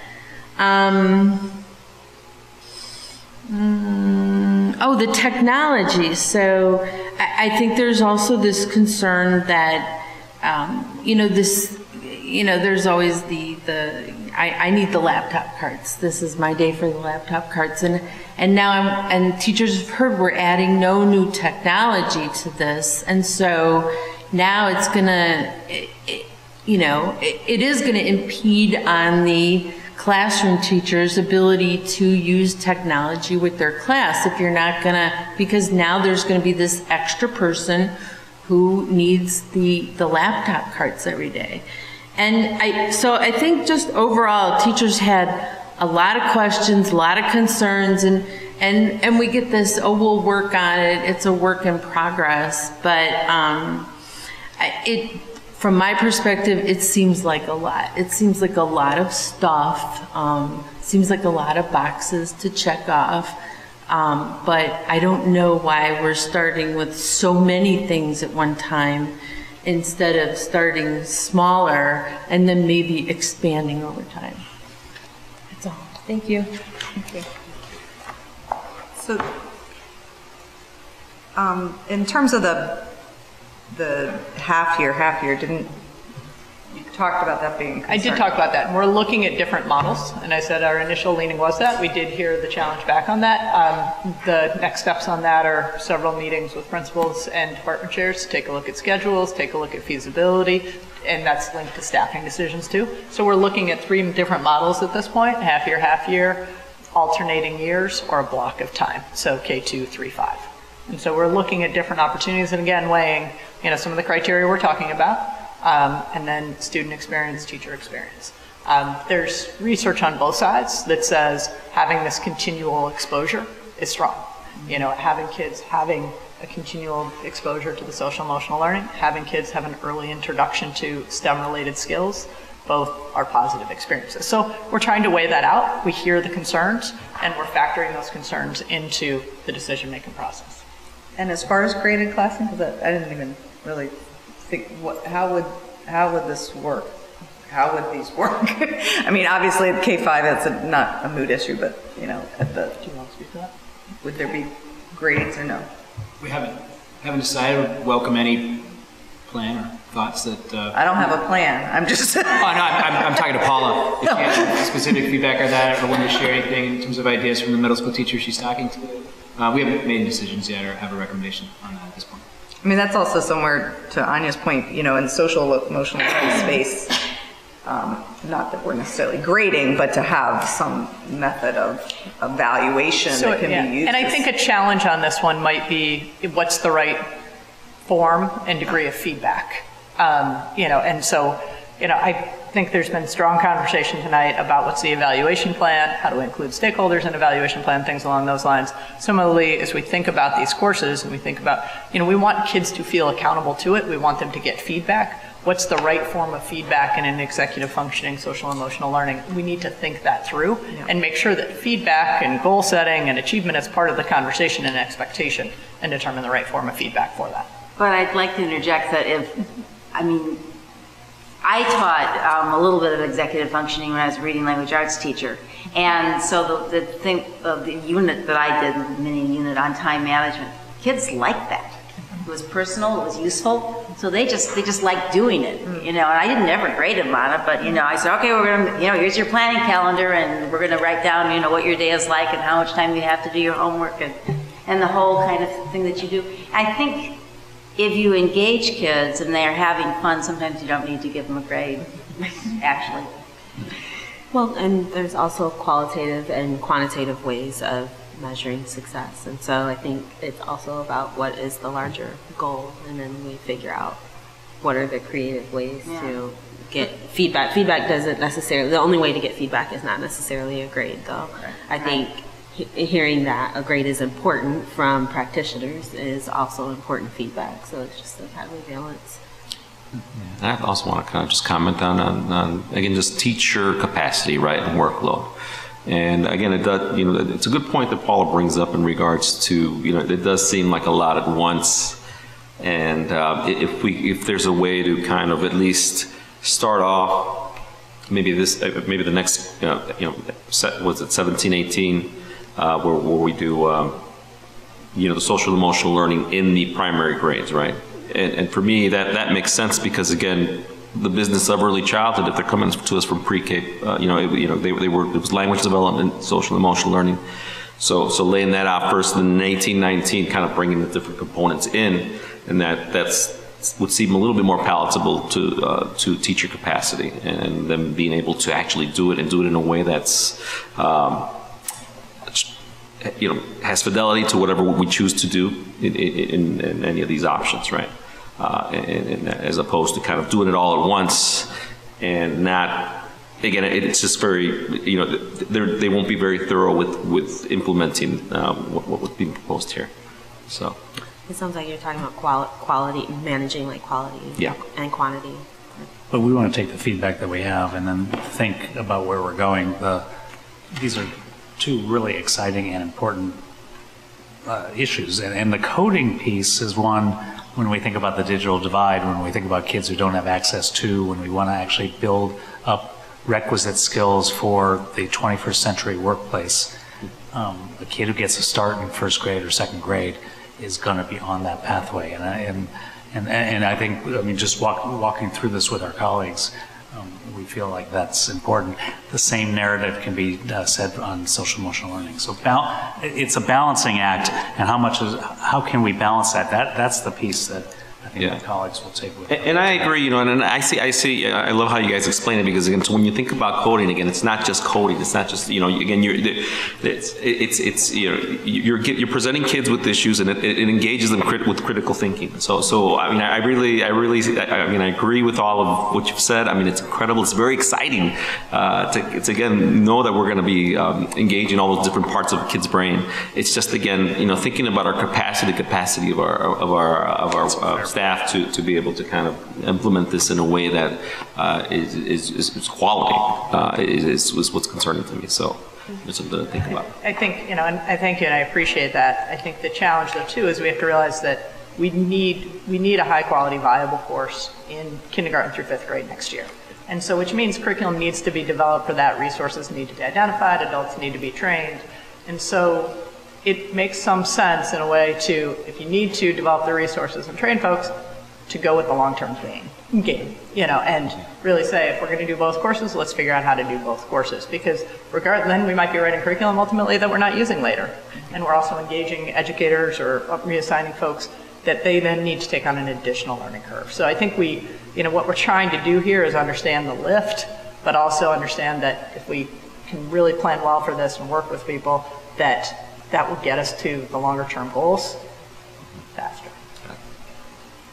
Okay, well. I just had one more comment. I, I, I think that just, I don't think that, um, my comment actually doesn't apply just to this. I think it's a broader consideration, which is that on, um, for a a couple of different conversations of late, this idea of bringing stakeholders in earlier has been, um, elevated. And so I think that just, you know, what, what would be the barrier and possibly, and maybe we could consider it, um, consider it more creatively, like to actually bringing this opportunity to the CAC earlier within parameters. Like these are the priorities, you know, the same priorities that were considered. These are the priorities, these are the parameters. This is the extent to which your advisory role is going to influence the final decision. But here, here this is, you know, earlier on in, in December or January, and then we'll take that into consideration and, and come back. And is there more like iterate,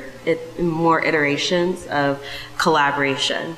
Um, so that it feels more transparent for folks and so that when the comes time comes to make this final decision whether people are on the same page or not folks feel like they have contributed their feedback and, and have some understanding of, of where we are. Because i think you know the, the timeline is is the, the restrictions of the timeline i think are clear right? If people need to be hired curriculum needs to be developed we need to think about implementation like this is kind of where we are now. But um, you know, we've had other conversations as a board of late that bring up the same question. So I think that it, it beckons us to think about how to embed that into process. Yes, understood and agreed. So, thank you, thanks everyone for the discussion. We'll look for the next opportunity to, to discuss and act on this on the 24th. And, and I think we all do appreciate the, you know, part of the reason this has been such a condensed time frame is because of the collaborative work with the teachers and you know, coming to this decision to do the new courses. So um, that, appreciate that you guys have been in a sprint to do this and still ins- ensure quality and creativity and thinking. So, and, um, and thank you too, Paula, for all the comments and continuing to be involved as CAC will continue to be. Yeah, thank you, and thank you for the conversation and the input, and we'll definitely take this and really try to think about where to go with the input. So thank you. All right, well, this is the last item of business, I believe. I'm not, right, I'm not skipping something. Um, I will then call us adjourned at 10:02 PM. Thank you.